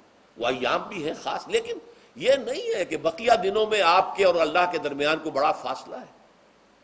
ये सारा दुनिया में मुशरकाना निज़ामों ने तस्वुर पैदा किया। अल्लाह तो दूर है दूर है दूर है दूर है, पाक है पाक है, पाक। तुम ना पाक हो, ना पाक हो, ना पाक हो। और तुम तो बड़ी पस्ती में पड़े हो, तुम अल्लाह से बराह रास्त हम कलाम नहीं हो सकते। कोई दरमियानी चाहिए, कोई लिंक्स चाहिए। कोई पुजारी होगा, कोई पुरोहित होगा, कोई पंडित होगा, कोई पीर होगा, कोई कोई पादरी होगा, कोई पोप होगा, उसके ज़रिए से तुम अल्लाह से हम कलाम हो। खुद नहीं। और जब ज़रिए बीच में आ गए तो इनकी मुट्ठी गर्म करो, इनकी चापलोसी करो, इनको भी जो है चादरें चढ़ाओ, इनको नजराने पेश करो। ये है बदतरीन एक्सप्लाइटेशन जो मज़हब के ज़रिए से नौ इंसानी की हुई है। ये दो एक्सप्लाइटेशन दुनिया में हुई है, तारीख इंसानी में। एक बादशाहों की तरफ़ से, खराज दो हमें, मेहनत तुम करोगे खेत में, आधा हिस्सा हमारे पास आएगा। हम ऐश करेंगे हम स्टैंडिंग आर्मीज रखेंगे ताकि जरा तुम बगावत करो तो तुम्हारा सर कुचल दिया जाए। ये एक्सप्लॉयटेशन बदतरीन। मांगने वाला गदा है, सदका मांगे या खराज। दूसरी तरफ़, हम बादशाह हैं। हम चंद्र बंसी सूरज बंसी खानदान हैं। हम राजपूत हैं। हुकूमत करना हमारा हक है। और ये पंडित पुरोहित जो है, वो भी कहेंगे कि ठीक है, निसफुल्ली व निसफुल्लक वहादा कौम जाहिलून। ये आवाम जो है, इनका खून चूसो। हमें ये नजराने पेश करें बुतों को आके चढ़ावे चढ़ाएँ और तुम्हें खराज दें और टैक्स दें। They are to be exploited exploit हो रहा इस्लाम ने आकर दोनों का खात्मा किया। कोई मलूकियत नहीं। जक़ात है तो गुरबा के लिए, बादशाह के लिए नहीं है। ये तो गुरबा के लिए। लिहाजा कोई टैक्स नहीं। नंबर दो, अल्लाह से हम कलाम होने के लिए किसी दरबान, किसी जो है पहरेदार की मुट्ठी गर्म करने की ज़रूरत नहीं। जब चाहो हम कलाम हो जाओ। दिल के आईने में है तस्वीरें यार। जब जरा गर्दन झुकाई देख ली। ये तो तुम हमारी तरफ़ मुतवजह नहीं होते। हम तो हर वक्त कहते हैं। हर शब्द को आखिरी लम्हात जो है, आखिरी जो घंटे हैं, रात के समाए दुनिया तक हम नजूल फरमा लेते हैं तुम्हारे लिए। और पुकारने वाला पुकारता है, हल बिल मुस्तफिर फौफिर अला है कोई इस्तफार करने वाला कि मैं उसे बख्श दू? हल बिन साइलिन फौतिया है कोई मांगने वाला कि मैं उसे अता करूँ? तुम ही सोए रहते हो, अंटा गफील रहते हो। तुम्हें हमारी तरफ़ तवज्जो नहीं है। अगर हमारी तरफ़ मुतवजह हो जाओ तो जैसे कि इकबाल ने कहा कि मैं, मेरे लिए ये दरबान जो है, पीरान कलीसा को कलीसा से उठा दो। क्यों खालिक मखलूक में हाइल रहे पर्दे? और ये मैंने कई मरतबा बयान किया है। हमारे यहाँ वो पी पी पी जो जमात बनी थी एक अब उसमें दो पी और ऐड हो गई हैं। पी पी पी, फिर वो पैट्रियट, और उससे आए अपनी पहले पार्लियामेंटेरियन की पी आ गई और फिर पैट्रियट की आ गई। पाँच पीस हो गई। इसी तरह गिनती है। हिंदुस्तान में पंडित, पुरोहित और पुजारी। तीन पे तो यहाँ थी। पीर, ईरान का पीर।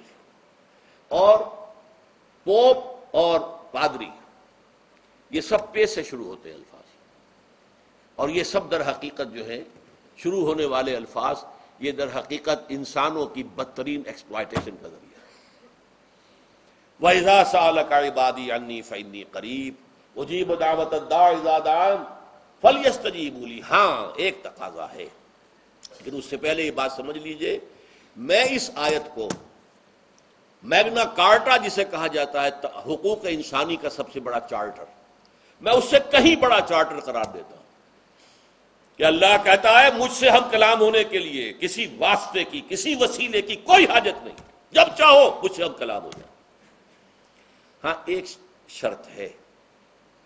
फलियस्तजीबूली चाहिए कि वो मेरी बात भी कबूल करें, मेरे अहकाम को तस्लीम करें, मेरे फरामीन कान सुन से खोल कर सुने, उन पर दिल से अमल करें। फल यस्तजीब ये वन वे ट्रैफ़िक नहीं होगा कि हम तुम्हारी दुआएँ कबूल करें। और तुम हमारी बातों से पहलू तो ही करो, सुनी अनसुनी कर दो, ये नहीं होगा। ये एक टू वे ताल्लुक है, जिसे आजकल कहा जाता बाइलेटरल ताल्लुक है। बाइलेटरल ताल्लुक है अल्लाह और बंदे के दरमियान। बंदा तौबा करता है मासी से, अल्लाह ताला भी, उसके लिए भी लफ्ज तवाब है। वो भी अपनी रहमत के साथ दोबारा मुतवजह हो जाता है। तुम अल्लाह को याद करो फसकुरूनी अस्कुरकुम, मुझे याद रखो, मैं तुम्हें याद रखूँगा इन तंसरुल्लाह कुम अगर तुम अल्लाह की मदद करोगे, अल्लाह तुम्हारी मदद करेगा। यह है दो तरफा मामला। इसी तरीके से तुम चाहते हो कि मैं तुम्हारी दुआएँ कबूल करूँ? मुजीब दावत दादान मैं हर पुकारने वाले की पुकार को सुनता हूँ, जब और जहाँ वेयर एंड वेन वो मुझे पुकारे। लेकिन लाजिम है फलियस्तजीब वो भी मेरा कहना माने। मेरे फरामीन को खुले कानों सुने और तहे दिल से उस पर अमल करें। वलयूमनू भी, और मुझ पर ईमान पुख्ता रखे। यकीन उसके साथ मुझे पुकारे। लालहम यरशदून। अब ये सबसे बड़ा लफ्ज आ गया, ताकि उन्हें रुश्त हासिल हो जाए। रुश्त। फौज, फलाह, रुश्त। ये कई अल्फाज हैं। फौज, फाइज, फलाह, मुफलहून। रुश्त, राशिदून। और ये लफ्ज इस्तेमाल हुआ साहबा कराम के लिए सूर्य हजरात में। उलाए कहमुर राशिदून। तो गोया कि ये बुलंद तरीन मंजिल है इंसान के लिए। अगर उसका यह ताल्लुक अल्लाह के साथ कायम हो जाए, दुआ का हम कलाम होने का रिश्ता उसको कबूल हो, मुझ मिल जाए। अब आखिरी बात नोट कीजिए। आखिरी आयत जो है इस रुकू की, बज़ाहिर उसका ताल्लुक न रोज़े से, न रमज़ान से। अकले हलाल, अकले हराम से रोका गया है। वला अम्बालकुम बैनकुम बिलबाती और देखो, अपने माल आपस में बातिल तरीकों से मत खाओ। वतुदरू बिहाम और न ही अपने मालों के ज़रिए से हुक्काम तक पहुंचो। लताकुलू फरीक मिन अम्वालनास बिलिस्म कि तुम लोगों में से किसी का माल गुनाह के साथ नाजायज तौर से हड़प कर जाओ। रिश्वत देकर और अपने हक में कोई गलत फैसला करवा लो। वाल तुम तालमून, जानते बूझते ये काम न करो। बज़ाहिर तो न रोज़े से ताल्लुक है, न रमज़ान से। फिर इस रुकू में कैसे आ गए बड़ा गहरा ताल्लुक है। अव्वल आखिर का ताल्लुक है। पहली आयत में मुजर्रद रमज़ान रोज़े की जो फजीलत बयान की गई थी या हिकमत, आयत क्या थी? तकवा। ये तकवा का मैार है। तकवा जो है, जवाहिर की बुनियाद पर नहीं है। अच्छा ज़ाहिर बात है कि जवाहिर भी दीन का हिस्सा है। हजूर किसी वजह कता इख्तियार करना यकीन एक नेकी का काम है। हर चीज़ में हजूर के नक्शे कदम पर चलना। लेकिन यह जवाहिर पर नहीं है तबका। तकवा दिल में हो तकवा हा होना तकवा हा होना तकवा हा। तीन मरतबा हजूर ने अपने सीने मुबारक और कल्ब मुबारक की तरफ़ इशारा करके फरमाया, तकवा यहाँ होता है। तकवा यहाँ। जब यहाँ होगा तो पूरे वजूद में सरात कर जाएगा। लेकिन इसमें अहम तरीन बात क्या है? अकले हलाल, जो मुश्किल तरीन काम है। हराम का लुकमा ना आए। वरना जैसे कि कहा गया है, दुआ के बेहतरीन मकाम पर पहुँच गए हो। हरम काबा काबा के मुलतजिम के साथ चिमटे हुए हो और दुआएँ कर रहे हो। अब इससे ज़्यादा दुआ की कबूलियत का कौन सा वक्त होगा? या आप खड़े हो गए जबल रहमत के ऊपर सबसे ऊँचे मकाम पर जाकर और आपने दो घंटे से हाथ उठाए हुए अल्लाह अल्लाह यार अब यार अब लेकिन हजूर ने फरमाया कि ऐसे बहुत से लोग हैं। रजुल सफरा अशकसा अकबरा। एक शख्स है सफ़र की वजह से, बहुत लंबा सफ़र करके, दरबादा थका बाजा है। और उसका वो एहराम जो है, वो भी मैला कुचैला हो चुका है। ज़ाहिर बात है, आज की बात नहीं हो रही है। जबकि आप चार घंटे में तो पहुँच गए जद्दा, और फिर दो घंटे में मक्का पहुँच गए, और जाकर फिर दो घंटे में आपने जो है उम्र किया और बात छुट्टी। एहराम खुल गया। तो इसमें कहा वो एहराम मैला होगा, और कहाँ आपका बैल कुचैल होगा, और कहाँ आपके जिस्मों से जो है पसीनों की बू आएगी? नहीं। लेकिन जो ये सब करते थे और फिर काबे से, मुलतजिम से चिमट कर दुआ करते थे। यारब यारब यमुद यदमा वो हाथ उठाता है आसमान की तरफ़। यारब यारब वाना युस्तजाब जालिक और उस शख्स की दुआ कैसे कबूल हो? रबत अबू हराम उसके पेट में जो गजा पड़ी हुई है, वो हराम से मल बसहू हराम उसका लिबास जो उसने पहना हुआ है, चाहे वो एहराम ही है, वो हराम के पैसे से कमाया गया था। वह गुज अबिल हराम, और उसका पूरा जिस्म जो है, जिस गजा से ये तनो तोश तैयार हुआ है, वो हराम की गजा ऐसे आदमी की दुआ वहाँ पहुंचकर भी कबूल नहीं होती।